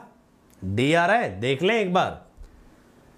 देखो एक्साइटिंग करंट आई नॉट दे रखा है पॉइंट फाइव अब जो कोर लॉस होता है ना बेटा, वो आई डब्ल्यू वाली पावर होती है। आई डब्ल्यू वाली पावर यानी वोल्टेज इंटू आई डब्ल्यू अब ये कौन सी साइड पे बात कर रहा है बेटा? एच वी साइड पे। एच वी साइड पे। तो 600 equal to two thousand into I W तो आई डब्ल्यू यहाँ से आ गया पॉइंट थ्री अब ये जो आई नॉट होता है, ये दो परपेंडिकुलर करंट से बनता है ना भाई फेजर में? परपेंडिकुलर करंट्स को आप कैसे ऐड करते हो? I W square plus I mu square तो दोनों साइड अगर स्क्वायर कर लो point five square is I mu square plus point three square तो यहाँ से आई म्यू आ जाएगा पॉइंट फोर एम्पियर ठीक है तो answer will be D point four ampere चलो अगला देखो। Primary 220 volt side of a 220 by fifty hertz transformer is connected to 110 volt 60 hertz what is the secondary output voltage चलो। 220 volt transformer की primary पे आपने 110 वोल्ट लगाया है तो कितना आउटपुट वोल्टेज आपको मिलने वाला है? कम ऑन एवरीवन फटाफट से आंसर कीजिए, कितना आउटपुट वोल्टेज मिलेगा?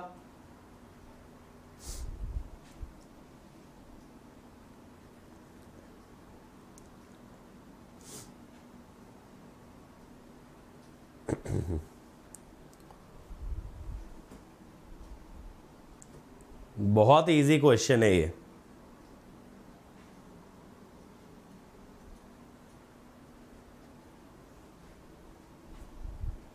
बी चलिए। आंसर इज़ बी देखो क्या होता है V2 two by V one will be equal to N two by N one ये फ्रीक्वेंसी पे डिपेंडेंट नहीं है बेटा। This is irrespective of source frequency आप सोर्स पे कितना भी फ्रीक्वेंसी लगाइए, ये रिलेशन आपका सेम रहने वाला है। ठीक है? तो इसका मतलब ये हुआ कि पहले तो रेशो था सिक्स बाय टू ट्वेंटी अब जब आपने वोल्टेज लगाई 110 तो कितना आएगा? तो it will be three volt समझ में आ गई बात?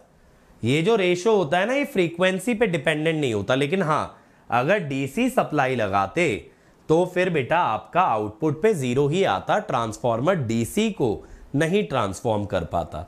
ये मत सोचना डायरेक्टली एज इट इज़ आपकी जो डीसी है ना, वो डीसी एज इट इज़ आपकी ट्रांसफॉर्म होके सेकेंडरी पे चली जाएगी, नहीं it will not go to secondary चलो, अगला देखो जरा। A single phase transformer is design to operate at 240 by 120 volt 50 hertz calculate the secondary no load voltage and its frequency if H V is connected to देखो same concept पे based है, जिसके बारे में अभी बात कर रहा था। फटाफट से आंसर बताओ सभी लोग। अब पिछला क्वेश्चन देखने के बाद इसका आंसर तो आना चाहिए भाई।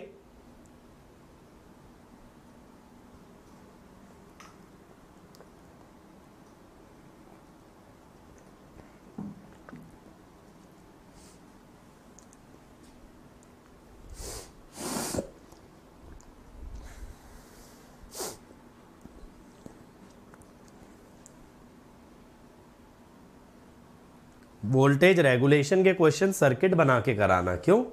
वोल्टेज रेगुलेशन में तो डायरेक्ट फॉर्मूला लगेगा RPU cos five plus XPU sine five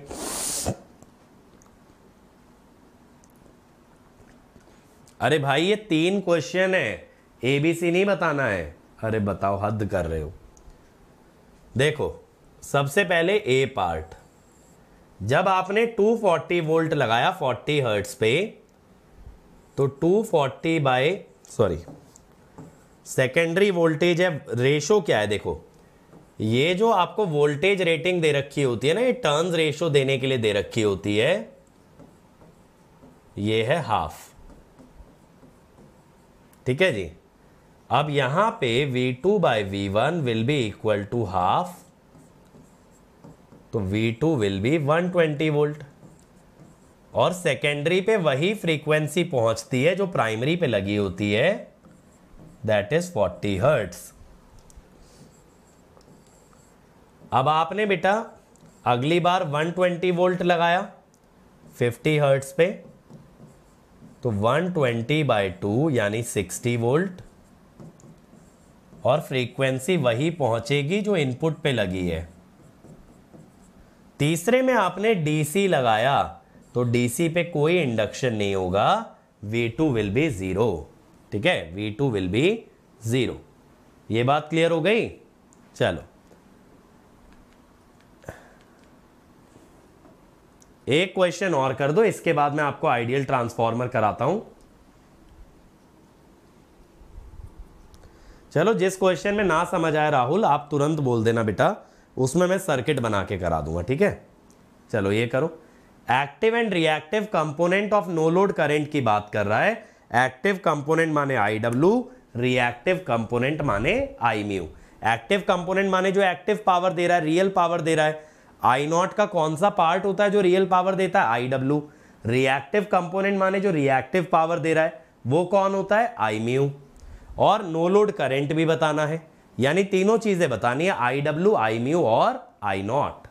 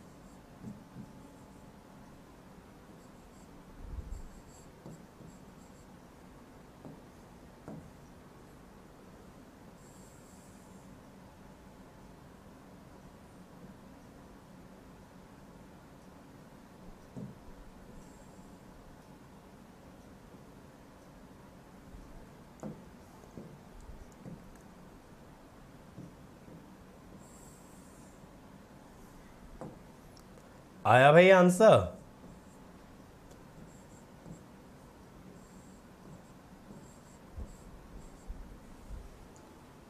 देखो, सबसे पहले क्या बोला है? एलवी साइड को ओपन रखा गया है, यानी कि सारा का सारा डेटा कहाँ पे है? एचवी साइड पे है।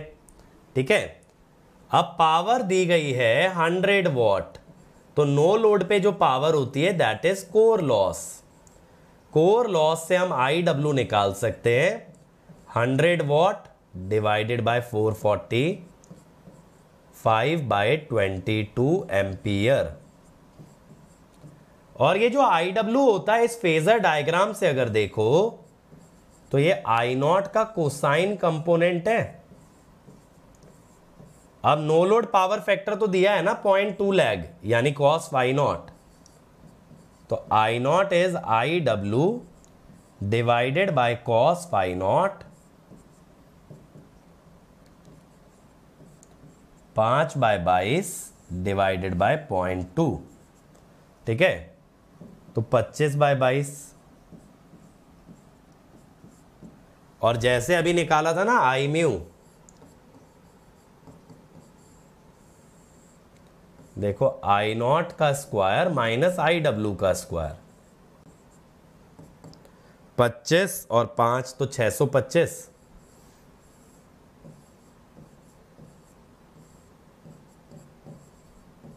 ये आ जाएगा। ठीक है?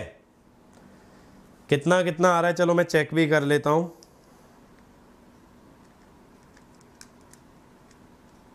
One point one one three आ रहा है ये। आई नॉट ये आ रहा है point two two seven.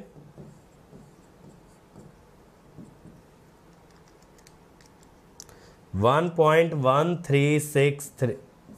ठीक है? यही बन रहा है? बताओ। यही आ रहा है भाई? चलो। अब आइडियल ट्रांसफॉर्मर पे आते हैं। बेटा देखो, ट्रांसफॉर्मर के अंदर ना दो मेन चीज़ें होती हैं। एक तो उसका कोर और दूसरी उसकी वाइंडिंग। तो एक आइडियल ट्रांसफॉर्मर वो है जिसका कोर भी आइडियल हो और जिसकी वाइंडिंग भी आइडियल हो। तो कोर आइडियल होने का मतलब यह होता है कि ट्रांसफॉर्मर की परमिएबिलिटी इनफाइनाइट हो जाए। अगर mu R tend to infinity करता है तो reluctance of core will tend to zero. It will tend to zero. ठीक है? आयरन लॉस उसका ज़ीरो हो जाए, यानी कि कोई भी कोर के अंदर ना तो हिस्टेरेसिस लॉस और ना ही eddy current loss. No hysteresis और एडी करेंट लॉस ठीक है? ट्रांसफॉर्मर वाइंडिंग का रेजिस्टेंस ज़ीरो हो जाए, फिर लीकेज आपका ज़ीरो हो जाए, यानी कोएफिशिएंट ऑफ़ कपलिंग आपका वन हो जाए, और मैग्नेटाइजेशन कर्व लीनियर हो जाए, यानी यहाँ पे ना तो सैचुरेशन और ना ही हिस्टेरेसिस समझ गए? जैसे पैरामैग्नेटिक का होता है, मैंने बताया भी था ना मटेरियल वाली क्लास में कि जब आप अबव क्यूरी पॉइंट चले जाते हो तो फेरोमैग्नेटिक पैरा बन जाता है। लेकिन मैं ये नहीं कह रहा पैरा बन जाए। मैं सिर्फ़ कह रहा हूँ फेरोमैग्नेटिक मटेरियल में जो नॉन आइडियलिटी आ रही है दैट इज़ सेचुरेशन और हिस्टेरेसिस वो ना हो। ठीक है? परमिएबिलिटी तो हाई रहे, लेकिन उसकी नॉन आइडियलिटी चली जाए, जो कि प्रैक्टिकली हो नहीं सकता। अगर एक फेरोमैग्नेटिक लोगे तो भैया सैचुरेशन और हिस्टेरेसिस तो आना ही आना है। कैसे गायब हो जाएगा? ठीक है? अब देखो भाई।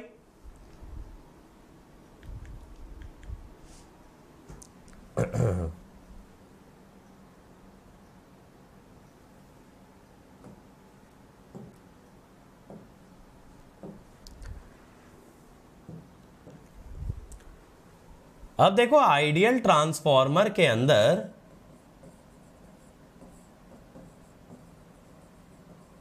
क्या चीज़ें हमको पता होनी चाहिए? देखो, एक आइडियल ट्रांसफॉर्मर अगर आप बनाते हो,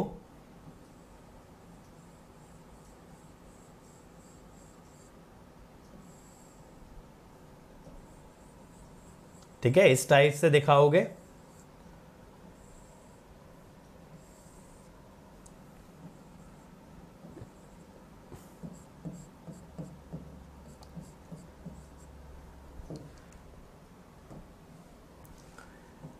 अब यहाँ पे वोल्टेज V1 यहाँ पे वोल्टेज V2 ठीक है?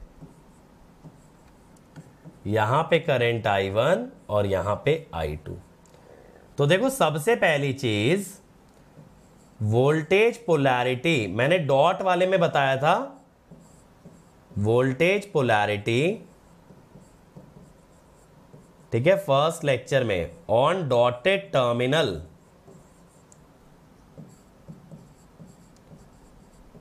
on both sides is same अगर प्राइमरी में डॉट पे सप्लाई का पॉजिटिव लगा है तो लोड में भी डॉट पे पॉजिटिव टर्मिनल ही आएगा। ये बात तो मानते हैं सभी लोग। वोल्टेज पोलैरिटी डॉट पे दोनों तरफ़ सेम होगी।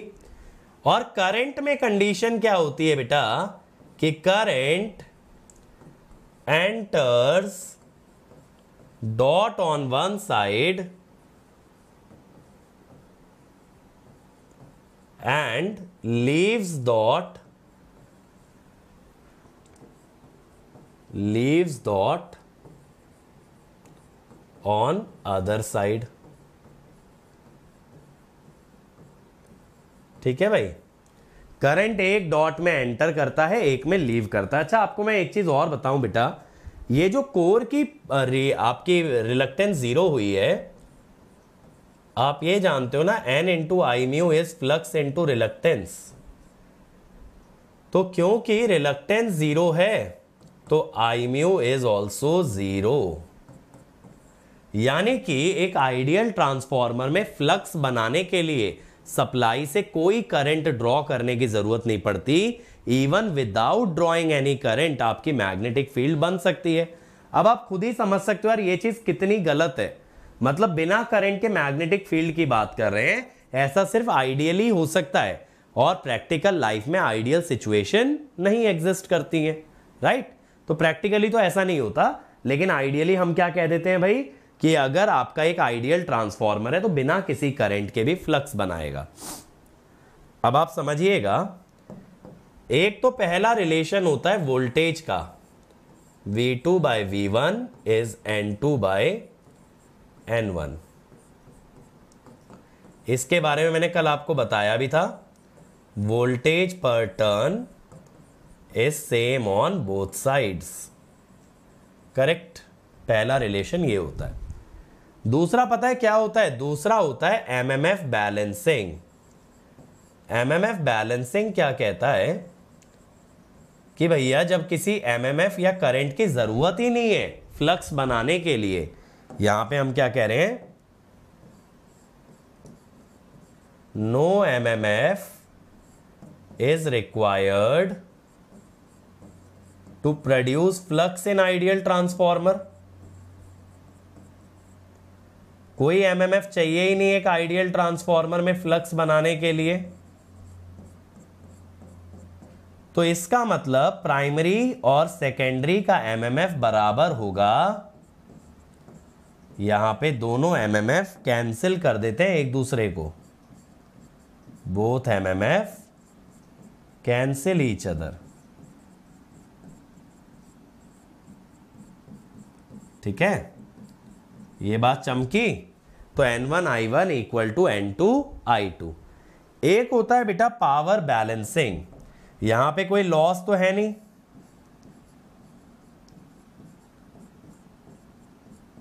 पावर बैलेंसिंग, पावर कंजर्वेशन, कुछ भी कह सकते हो। तो आप ये कहते हो, complex power in primary is same as complex in secondary. तो V one I one conjugate is V two I two conjugate आप चाहो तो रियल और रिएक्टिव अलग अलग बैलेंस कर लो। कॉम्प्लेक्स पावर अगर इक्वल है तो उसका रियल पार्ट और इमेजिनरी पार्ट दोनों ही इक्वल होंगे ना। तो आइडियल ट्रांसफॉर्मर में ये सारी कंडीशंस आपकी ट्रू होती हैं। बात समझ में आ गई? वोल्टेज का रेशो टर्न्स रेशो के बराबर होता है, करंट का रेशो उल्टा आता है। V1 one by V two is N one by N two is equal to I two by I one apparent power या कॉम्प्लेक्स पावर दोनों तरफ़ बराबर होती है, यानी दोनों की रियल पावर और दोनों की रिएक्टिव पावर बराबर होगी। कहने का मतलब यह हुआ सेकेंडरी पे लोड जितनी रियल पावर मांगेगा सप्लाई से प्राइमरी में उतनी ही रियल पावर आएगी। सेकेंडरी पे लोड जितनी रिएक्टिव पावर मांगेगा प्राइमरी पे सोर्स से उतनी ही रिएक्टिव पावर आएगी। तो जो भी लोड की डिमांड होगी रियल और रिएक्टिव पावर उतनी ही पावर सोर्स से प्राइमरी के अंदर एंटर करती है। अब आती है बात भाई इंपिडेंस ट्रांसफॉर्मेशन की, ठीक है? इंपिडेंस ट्रांसफॉर्मेशन की। अब इंपिडेंस कैसे ट्रांसफॉर्म करते हैं? मान लो सेकेंडरी पे इंपिडेंस है Z two which is V two by I two V two को आप कैसे लिख सकते हो? N two by N one into V one और आई टू को कैसे लिख सकते हो? उल्टा रेशो होता है N one by N two into I one तो ये क्या हो गया? N two by N one square into V one by I one तो अगर मैं आपसे कहता हूँ we one by I one कितना होगा, यानी अगर प्राइमरी से देखें तो वोल्टेज और करंट का रेशो कितना होगा? दैट इज़ दिस तो this is secondary impedance refer to primary तो जब बेटा आप एक इंपिडेंस को रेफर करते हो एक साइड से दूसरी साइड जब आप सेकेंडरी से प्राइमरी जा रहे हो तो नीचे में क्या रखोगे? सेकेंडरी और ऊपर में जहाँ पे आप जा रहे हो दैट इज़ प्राइमरी है ना? जैसे मान लो, अगर मैं बैंगलोर से दिल्ली ट्रेवल करूँगा तो दिल्ली मेरा डेस्टिनेशन है। वो न्यूमरेटर में आएगा। बैंगलोर जहाँ से मैं चला हूँ, वो मेरा डिनोमिनेटर में आएगा। बात समझ में आ गई? तो डेस्टिनेशन बाय सोर्स आप कहाँ से चल के, कहाँ पे पहुँच रहे हो इस चीज़ का रेशो लोगे और उसका स्क्वायर कर दोगे that will give you the impedance referred तो ऐसे ही सिमिलरली अगर आप प्राइमरी से सेकेंडरी जाते प्राइमरी से सेकेंडरी जाते तो सेकेंडरी वाला ऊपर आता प्राइमरी वाला नीचे आता, ठीक है?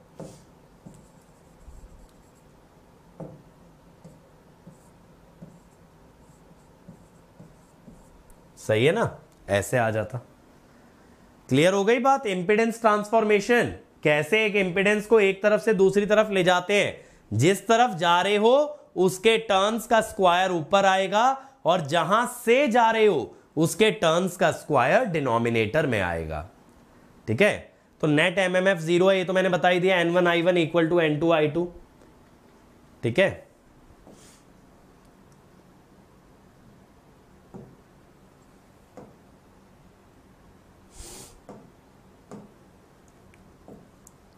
अब आ जाओ भाई थ्री वाइंडिंग ट्रांसफॉर्मर पे। थ्री वाइंडिंग ट्रांसफॉर्मर में क्या होता है ना? हमारे कोर पे ना दो की जगह तीन वाइंडिंग लपेटी जाती हैं। देखो कैसे।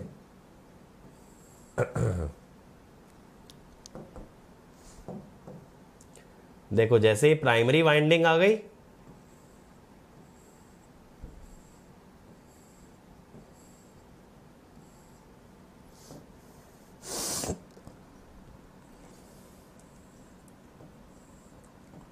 ये सेकेंडरी वाइंडिंग आ गई भाई आपकी। अब आपने क्या किया ना, आपने एक तीसरी वाइंडिंग और लपेट दी, मान लो ऐसे। ठीक है जी? अब मान लो आपको इसमें डॉट प्लेस करना है तीनों वाइंडिंग में तो आपने सबसे पहले क्या किया? प्राइमरी में एक डॉट लिया जहाँ से करंट एंटरिंग था। अब इसका अगर आप फ्लक्स बनाओगे प्राइमरी का प्राइमरी का अगर आप फ्लक्स बनाओगे मेरे बच्चों तो कैसा बनेगा? क्लॉकवाइज क्लॉकवाइज बनेगा ना? इधर से ऊपर जाते हुए राइट डाउन लेफ़्ट अब आप क्या करोगे? अब आप सेकेंडरी और टर्शरी का फ्लक्स इससे अपोजिट मानोगे। तो सेकेंडरी का फ्लक्स ऐसे आपने ऊपर माना, इससे अपोजिट और टर्शरी का फ्लक्स आपने ऐसे राइट में माना। इसको अपोज करते हुए। अब सेकेंडरी का फ्लक्स अगर ऊपर की तरफ़ है तो सेकेंडरी का करंट किधर जाएगा भाई? राइट में जाएगा। ऐसे। तो जिस टर्मिनल से निकल रहा है, उस पर डॉट लगा लीजिए। टर्शरी का फ्लक्स आपने राइट में दिखाया है तो आपका जो राइट में एरो है, वो कैसे आएगा? देखो राइट में एरो ऐसे आएगा। जब आपकी उंगलियाँ नीचे की तरफ़ आएँगी। राइट में एरो तो तभी आएगा ना जब आपकी उंगलियाँ नीचे की तरफ़ आएँगी। ऐसे। तो यहाँ पे डॉट आ गया। ठीक है? अब यहाँ पे देखो तीन वोल्टेजेस होती हैं। प्राइमरी पे वोल्टेज होती है V1 सेकेंडरी पे होती है V2 और इसका करंट I2 और टर्शरी पे होती है वी V3 करंट I3 अब ये थ्री वाइंडिंग ट्रांसफॉर्मर की पता है ज़रूरत क्या पड़ती है? देखो, जब एक सब स्टेशन होता है सब स्टेशन का काम क्या होता है ना? वोल्टेज को स्टेप डाउन करके पावर सिस्टम में आगे बढ़ा देना। तो एक तो वो वोल्टेज को स्टेप डाउन करके लोड को सप्लाई कर रहा है। लेकिन सब स्टेशन में भी तो खुद की मशीनें हैं। सब स्टेशन में खुद के लाइट पंखे एसी सब हैं। उनको वो भी चलाना है। तो वो क्या करते हैं? ट्रांसफॉर्मर पे एक तीसरी वाइंडिंग बाँध लेते हैं, जो कि उन्हें 220 वोल्ट या 415 वोल्ट दे पाए, जिससे वो अपनी अप्लायंसेस चला लें तो तीसरी वाइंडिंग होती है टर्शरी तो देखो, यहाँ पे करता धरता प्राइमरी ही है।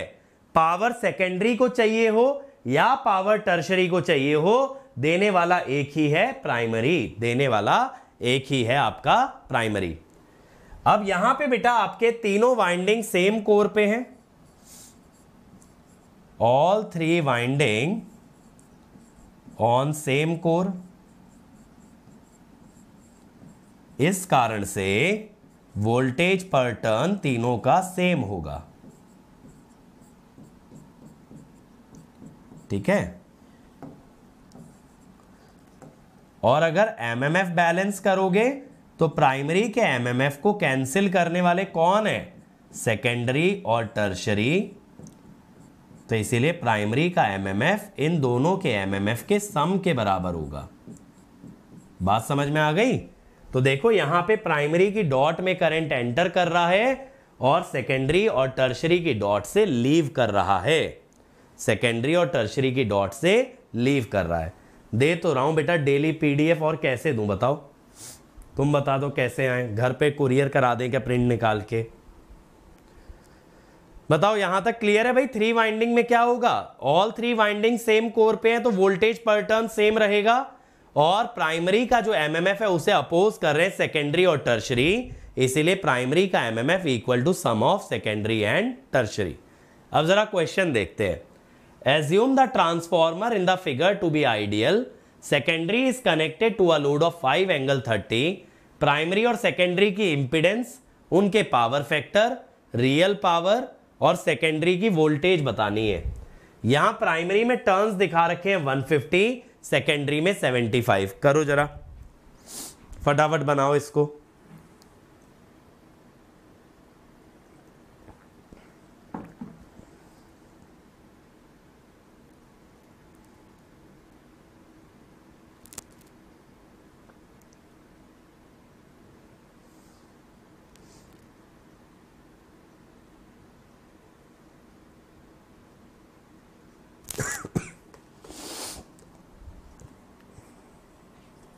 नहीं मिलती पीडीएफ, मिलती है बेटा, टेलीग्राम पे जाके चेक तो करो।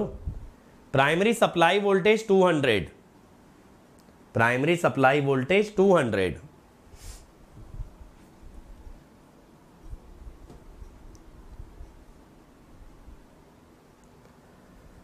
देखो, सबसे पहले अगर मुझे सेकेंडरी की वोल्टेज चाहिए तो प्राइमरी की 200 है into N two by N one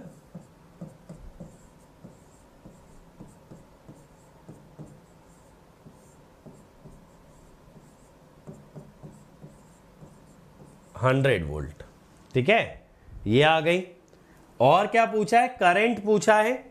अब I2 का जो करंट होगा, क्योंकि इंपिडेंस सेकेंडरी पे है 100 वोल्ट डिवाइडेड बाय 5 एंगल 30 तो that is 20 angle minus thirty degree और अगर I1 निकालोगे तो it will be N two by N one into I two N two by N one क्या होगा? 75 फाइव बाई वन फिफ्टी आ गया। Power factor दोनों का ही कॉस थर्टी होगा भाई। Point eight six six lagging क्योंकि करंट लैग कर रहा है by thirty degree real power भी दोनों की सेम होगी. किधर से भी निकाल लो, जैसे प्राइमरी से निकालोगे तो अगर 200 hundred into ten into cos thirty तो ये हो जाएगा thousand one seven three two watt ठीक है? ये. क्योंकि पावर भी दोनों तरफ़ सेम रहती है पावर फैक्टर भी सेम रहता है. बस क्या चेंज होता है? वोल्टेज करंट और इंपीडेंस चलो अगला देखो। For the system shown in the figure below the relation of current I with respect to voltage V A B जो आई करंट है, वो वी ए बी से कैसे रिलेटेड है? वी ए बी का मतलब है, देखो ये वोल्टेज ए बी का मतलब होता है ए पॉजिटिव बी नेगेटिव चलो बताओ जरा फटाफट से।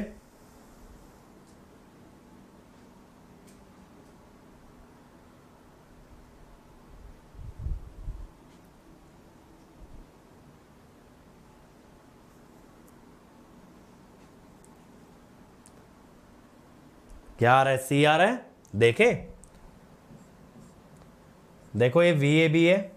वन एस टू वन के हिसाब से, डॉट पे पॉजिटिव तो डॉट पे पॉजिटिव, ये भी वी ए बी आया। इंडक्टर में करंट जब पॉजिटिव से नेगेटिव जाता है तो I L lags V A B by ninety degree. लेकिन ये जो आई दिखा रखा है भाई, ये तो माइनस आई एल है। देखो, ये अगर आपका वी ए बी है तो जो इंडक्टर का करंट है, पैसिव वाला साइन कन्वेंशन लेते हैं, हमेशा प्लस से माइनस। तो ये आई एल है। लेकिन आई जो है, इसका नेगेटिव है बेटा। आई अगर इसका नेगेटिव है तो ये वी से 90 डिग्री लीड कर रहा है। आप लोगों ने सीधा इंडक्टर देखा आंसर लगा दिया। आपने डॉट देखा ही नहीं। तो आंसर इज़ बी हो गया सबका गलत? क्लियर हुआ? बी क्यों हुआ? डॉट उल्टे लगे हैं ना? अगर डॉट इधर लगा होता ना तो आपका आंसर सही था। 90 डिग्री लैग। लेकिन डॉट उसने नीचे की तरफ़ लगाया। बात समझ में आ गई? इंडक्टर का करंट 90 डिग्री लैग तब करता है जब आप करंट प्लस से माइनस टर्मिनल लें। अगर माइनस से प्लस यानी करंट उल्टा लोगे तो लैग की जगह लीड करेगा। ये देखो जरा। An ideal transformer has a primary winding of 200 turns on the secondary side turns between A and B 600 between B and C is 400 यानी टोटल थाउज़ेंड टर्न्स है, जिसमें ए से बी तक 600 है और बी से सी तक 400 तो इसीलिए बोल रहा है ए से सी तक हज़ार है। Transformer supplies a resistor between A and C which draws 10 kilowatt and a load of 200 angle 45 between A and B. If primary voltage is 2 kilovolt, find primary current. पहले इसका डायग्राम बनाओ भाई पहले आप सभी लोग इसका डायग्राम बनाएँगे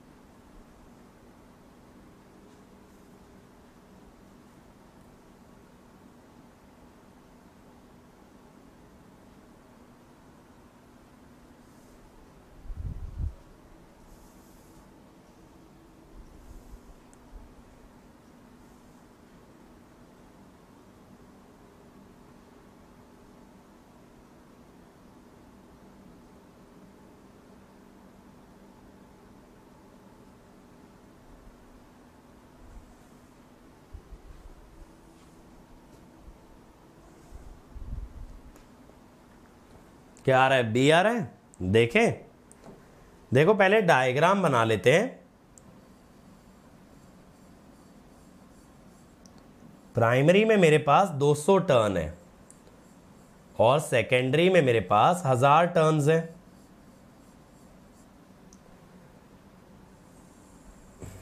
जिसमें कि बी पे मैंने एक टैपिंग कर रखी है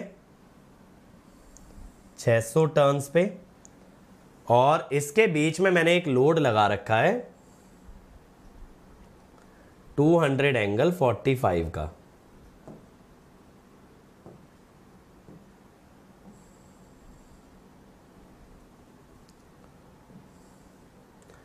और ए और सी के बीच में मैंने एक रजिस्टर लगाया है भाई।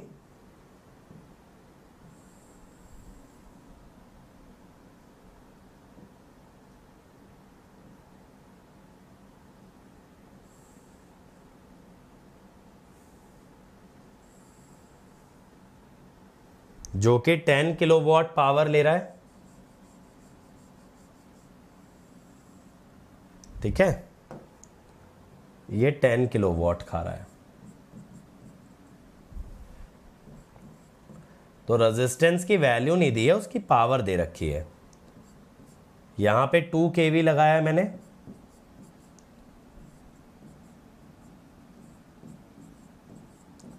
तो सेकेंडरी साइड बेटा टोटल वोल्टेज 10 केवी आ जाएगी, जिसमें 600 टर्न्स के अक्रॉस 6 केवी आएगी और टोटल वोल्टेज होगी 10 केवी समझ रहे हो? टर्न्स रेशियो से निकाल लो ना सीधे सीधे ए बी में 600 टर्न्स है तो 6 केवी अब अगर मैं इस लोड की पावर निकालना चाहूँ, पता है मैं पावर से क्यों करता हूँ? क्योंकि पावर दोनों तरफ़ सेम रहती है। तो मैं कहता हूँ S load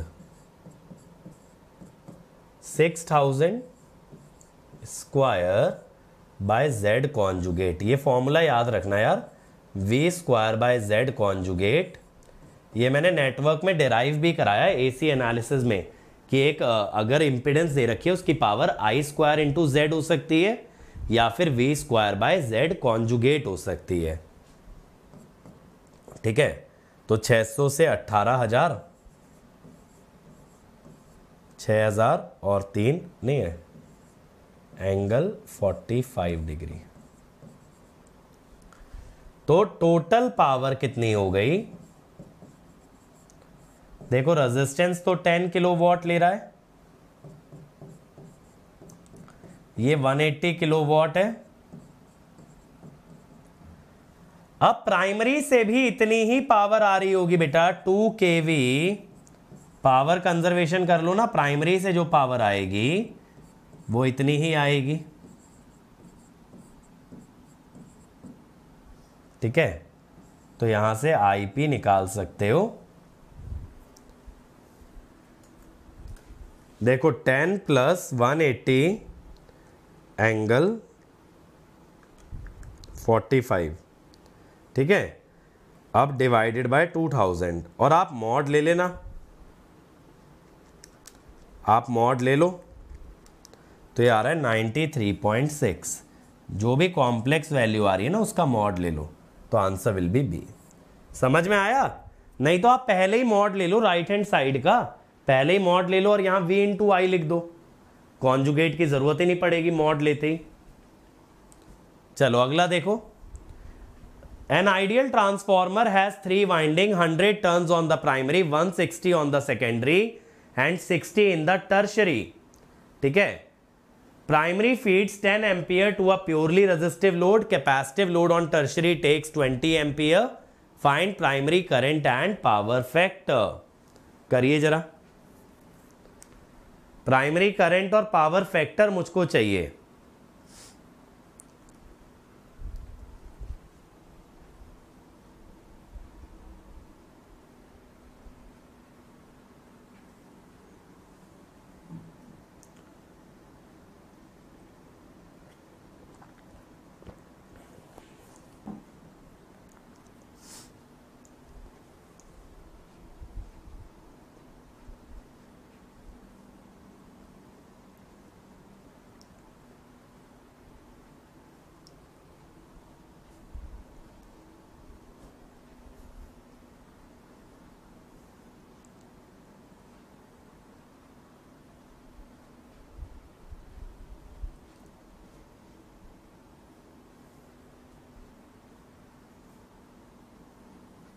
क्या आ रहा है भाई आंसर?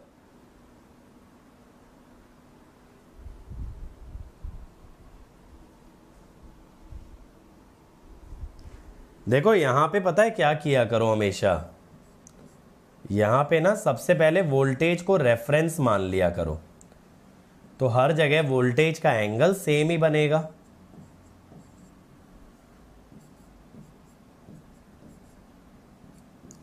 अब मुझे वोल्टेज के बारे में तो कोई इंफॉर्मेशन नहीं है, ना पावर दे रखी।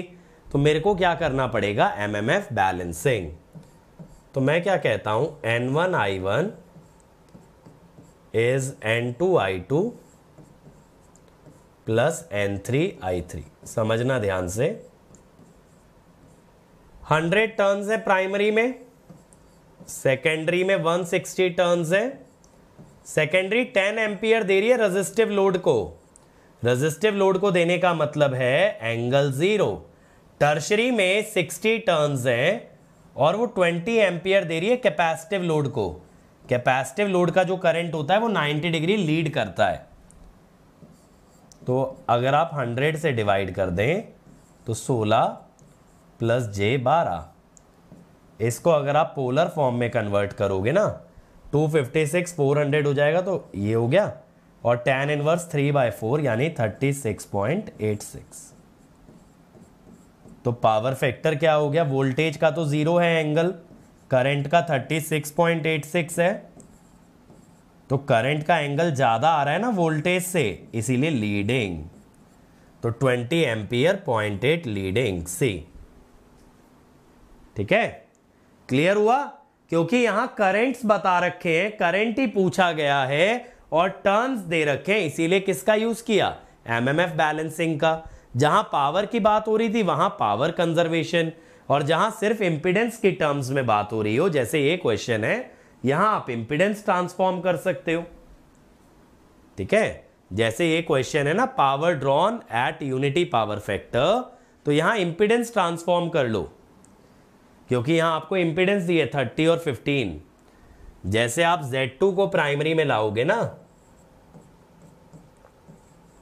तो 30 into N one by N two का स्क्वायर। समझ में आया? तीनों मेथड लग जाते हैं इस टाइप से बेटा।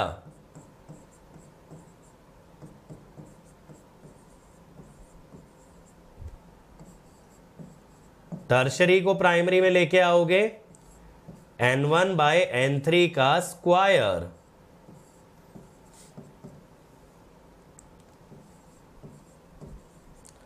अब ये क्योंकि वाइंडिंग के पैरेलल थे ना बेटा तो ये यहाँ आके भी वाइंडिंग के पैरेलल ही लगेंगे। सेकेंडरी और टर्शरी के जो रेजिस्टेंस है, वो अपनी अपनी वाइंडिंग के पैरेलल है। तो यहाँ आके भी पैरेलल ही आएँगे। अब 480 एट्टी पैरेलल 60 इज़ 480 बाय 9 और power is 16 square by resistance voltage 16 दे रखी है।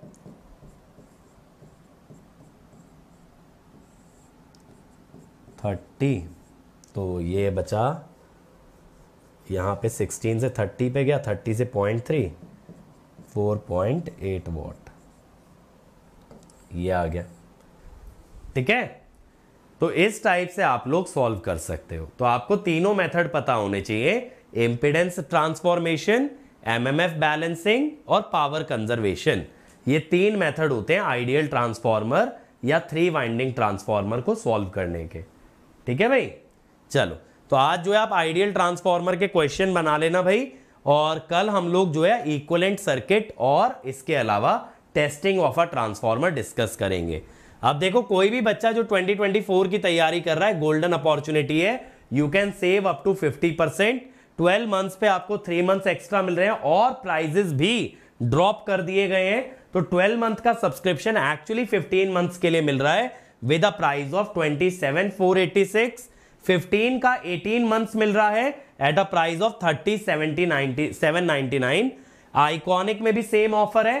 एट मिनिमम प्राइजेस आपको बस क्या करना है? फटाफट अन अकेडमी ऐप पे जाके ज्वाइन करना है। And you have to use the code Ankit E S E और गेट 2023 जैसे कि तीन मंथ अवे है तो आप आइकॉनिक सब्सक्रिप्शन ले सकते हो, जहाँ आप पर मंथ पे करके पर मंथ पे करके अपना आइकॉनिक सब्सक्रिप्शन में तैयारी कर सकते हो। यहाँ आपको मेंटोरशिप मिल जाएगी, अलग से टेस्ट सीरीज़ मिल जाएगी, सारे डाउट्स आंसर कर दिए जाएँगे, सारी चीज़ें होंगी, और यहाँ हमारा रैंक इंप्रूवमेंट बैच भी चल रहा है, जिसमें आपको बहुत सारे क्वेश्चन प्रैक्टिस कराए जा रहे हैं। और जो बच्चे टेस्ट सीरीज़ लेना चाहते हैं, बेटा, उनके लिए चार महीने की टेस्ट सीरीज़ लॉन्च कर दी गई है, जिसमें 60 से ज़्यादा टेस्ट हैं हर ब्रांच में। डाउट सॉल्व किए जा रहे हैं टेस्ट का डिटेल्ड रिपोर्ट दिया जा रहा है, और इस पे भी आपको 10 परसेंट ऑफ़ मिल जाएगा if you use the code Ankit E S A ESE का नॉन टेक हाँ ईएससी e का नॉन टेक भी अवेलेबल है, बेटा। और ये मेरी स्पेशल क्लासेस का लिंक है, बेटा। यहाँ पे ना मैंने मशीन की पूरी पीएस भीमरा लगवा रखी है। तो अगर आपको मशीन के और क्वेश्चन प्रैक्टिस करने हैं, इस लिंक पे जाके इलेक्ट्रिकल मशीन का फोल्डर आप चेक करना, उसमें मिल जाएगा। और अगर अन अकेडमी ज्वाइन करते हो तो प्लस और आइकॉनिक दो चॉइसेस हैं। दोनों में ही टॉप टीचर्स हैं। ऐप पे स्टडी मटेरियल है टेस्ट सीरीज़ है। आइकॉनिक वाले बच्चों को अगर नए क्वेश्चन में डाउट आता है तो वीडियो सोल्यूशन मिलेगा। घर पे बुक्स डिलीवर कराई जाएँगी। वन टू वन मेंटरशिप मिलेगी। स्ट्रैटेजी और स्टडी प्लान बनवाया जाएगा और ओपन हाउस सेशन में you can interact via audio और हमने कंपीट फीचर लाइव कर दिया बेटा, जहाँ पे आप लाइव कंपीट कर सकते हैं अपने फ्रेंड्स के साथ, अपने पीयर्स के साथ और देख सकते हैं अपनी तैयारी का लेवल जिससे आपको टेस्ट देने में मज़ा भी आएगा। You are definitely going to enjoy ये एक फन एक्टिविटी बन जाएगा रेदर देन अ बर्डन की यार टेस्ट भी देना पड़ेगा। आपको मज़ा आने वाला है। और आप जब अन अकेडमी ज्वाइन करते हैं, बेटा, आप प्लान डिसाइड करेंगे ड्यूरेशन डिसाइड करेंगे और पेमेंट के टाइम पे कोड लगा देंगे, अंकित ई एस ई और यहाँ पे देखिए बेटा, हमने जब इलेक्ट्रिकल के गेट 22 के रिज़ल्ट देखोगे तो टॉप 10 में छह रैंकर हमने प्रोड्यूस किए हैं। आप भी इनमें से एक हो सकते हो। आपको बस अन अकेडमी ज्वाइन करना है यूजिंग अंकित ई e और फाइनेंशियल इशू है तो ई e पे ले सकते हो, जहाँ पे कोई इंटरेस्ट देना नहीं पड़ेगा। दो घंटे में ई e अप्रूव होती है। सिर्फ़ आधार कार्ड, पैन कार्ड है and you can repay it in a flexible amount of time 24 वाले बच्चों के लिए नया बैच आदित्य सर स्टार्ट कर रहे हैं शाम छह बजे from twenty fourth of November इसमें एनालॉग से स्टार्ट होगा which is one of the very basic subject तो आप लोग काफ़ी एंजॉय करेंगे। तो फटाफट इस बैच का हिस्सा बन सकते हैं। 23 वालों के लिए आर भी चल रहा है, जिसमें मैथ्स ले रहे हैं Pallav sir, Shankar sir network ले रहे हैं, और इसमें मैं मशीन का रिवीजन करा रहा हूँ along with lots of question at 9:30 AM daily ठीक है? और ईसी e वाले बच्चों के लिए मैथ्स नेटवर्क और ईडीसी e चल रहा है भाई। और ये मेरा टेलीग्राम चैनल है बेटा, आपको यहाँ पे पीडीएफ मिल जाएगी। तो आप लोग फटाफट से इस टेलीग्राम चैनल को ज्वाइन कर सकते हो और इमीडिएटली आफ्टर द सेशन आपको पीडीएफ अवेलेबल करा दी जाएगी। और कम्युनिटी पे भी आप रह सकते हो, क्योंकि यहाँ पे मेरा बहुत सारा स्टडी मटेरियल है एनालॉग के पूरे मटेरियल है। कंट्रोल सिस्टम का मटेरियल है तो अन अकेडमी ऐप के होम पेज पे जाना, कम्युनिटी में, डिस्कवर पे। वहाँ मैं मिल जाऊँगा सारे पीडीएफ भी मिल जाएँगे। So thank you everyone thanks a lot बच्चों। अब हम लोग कल मिलेंगे और आज शाम साढ़े सात बजे आप लोगों के लिए एक बहुत बड़ा अनाउंसमेंट है तो सभी लोग आइएगा स्पेशली यूट्यूब फैमिली के लिए अनाउंसमेंट है, ठीक है? डेफिनेटली आप लोग काफ़ी खुश हो जाओगे देख के तो शाम साढ़े सात बजे ज़रूर आना है, ठीक है? Let's crack it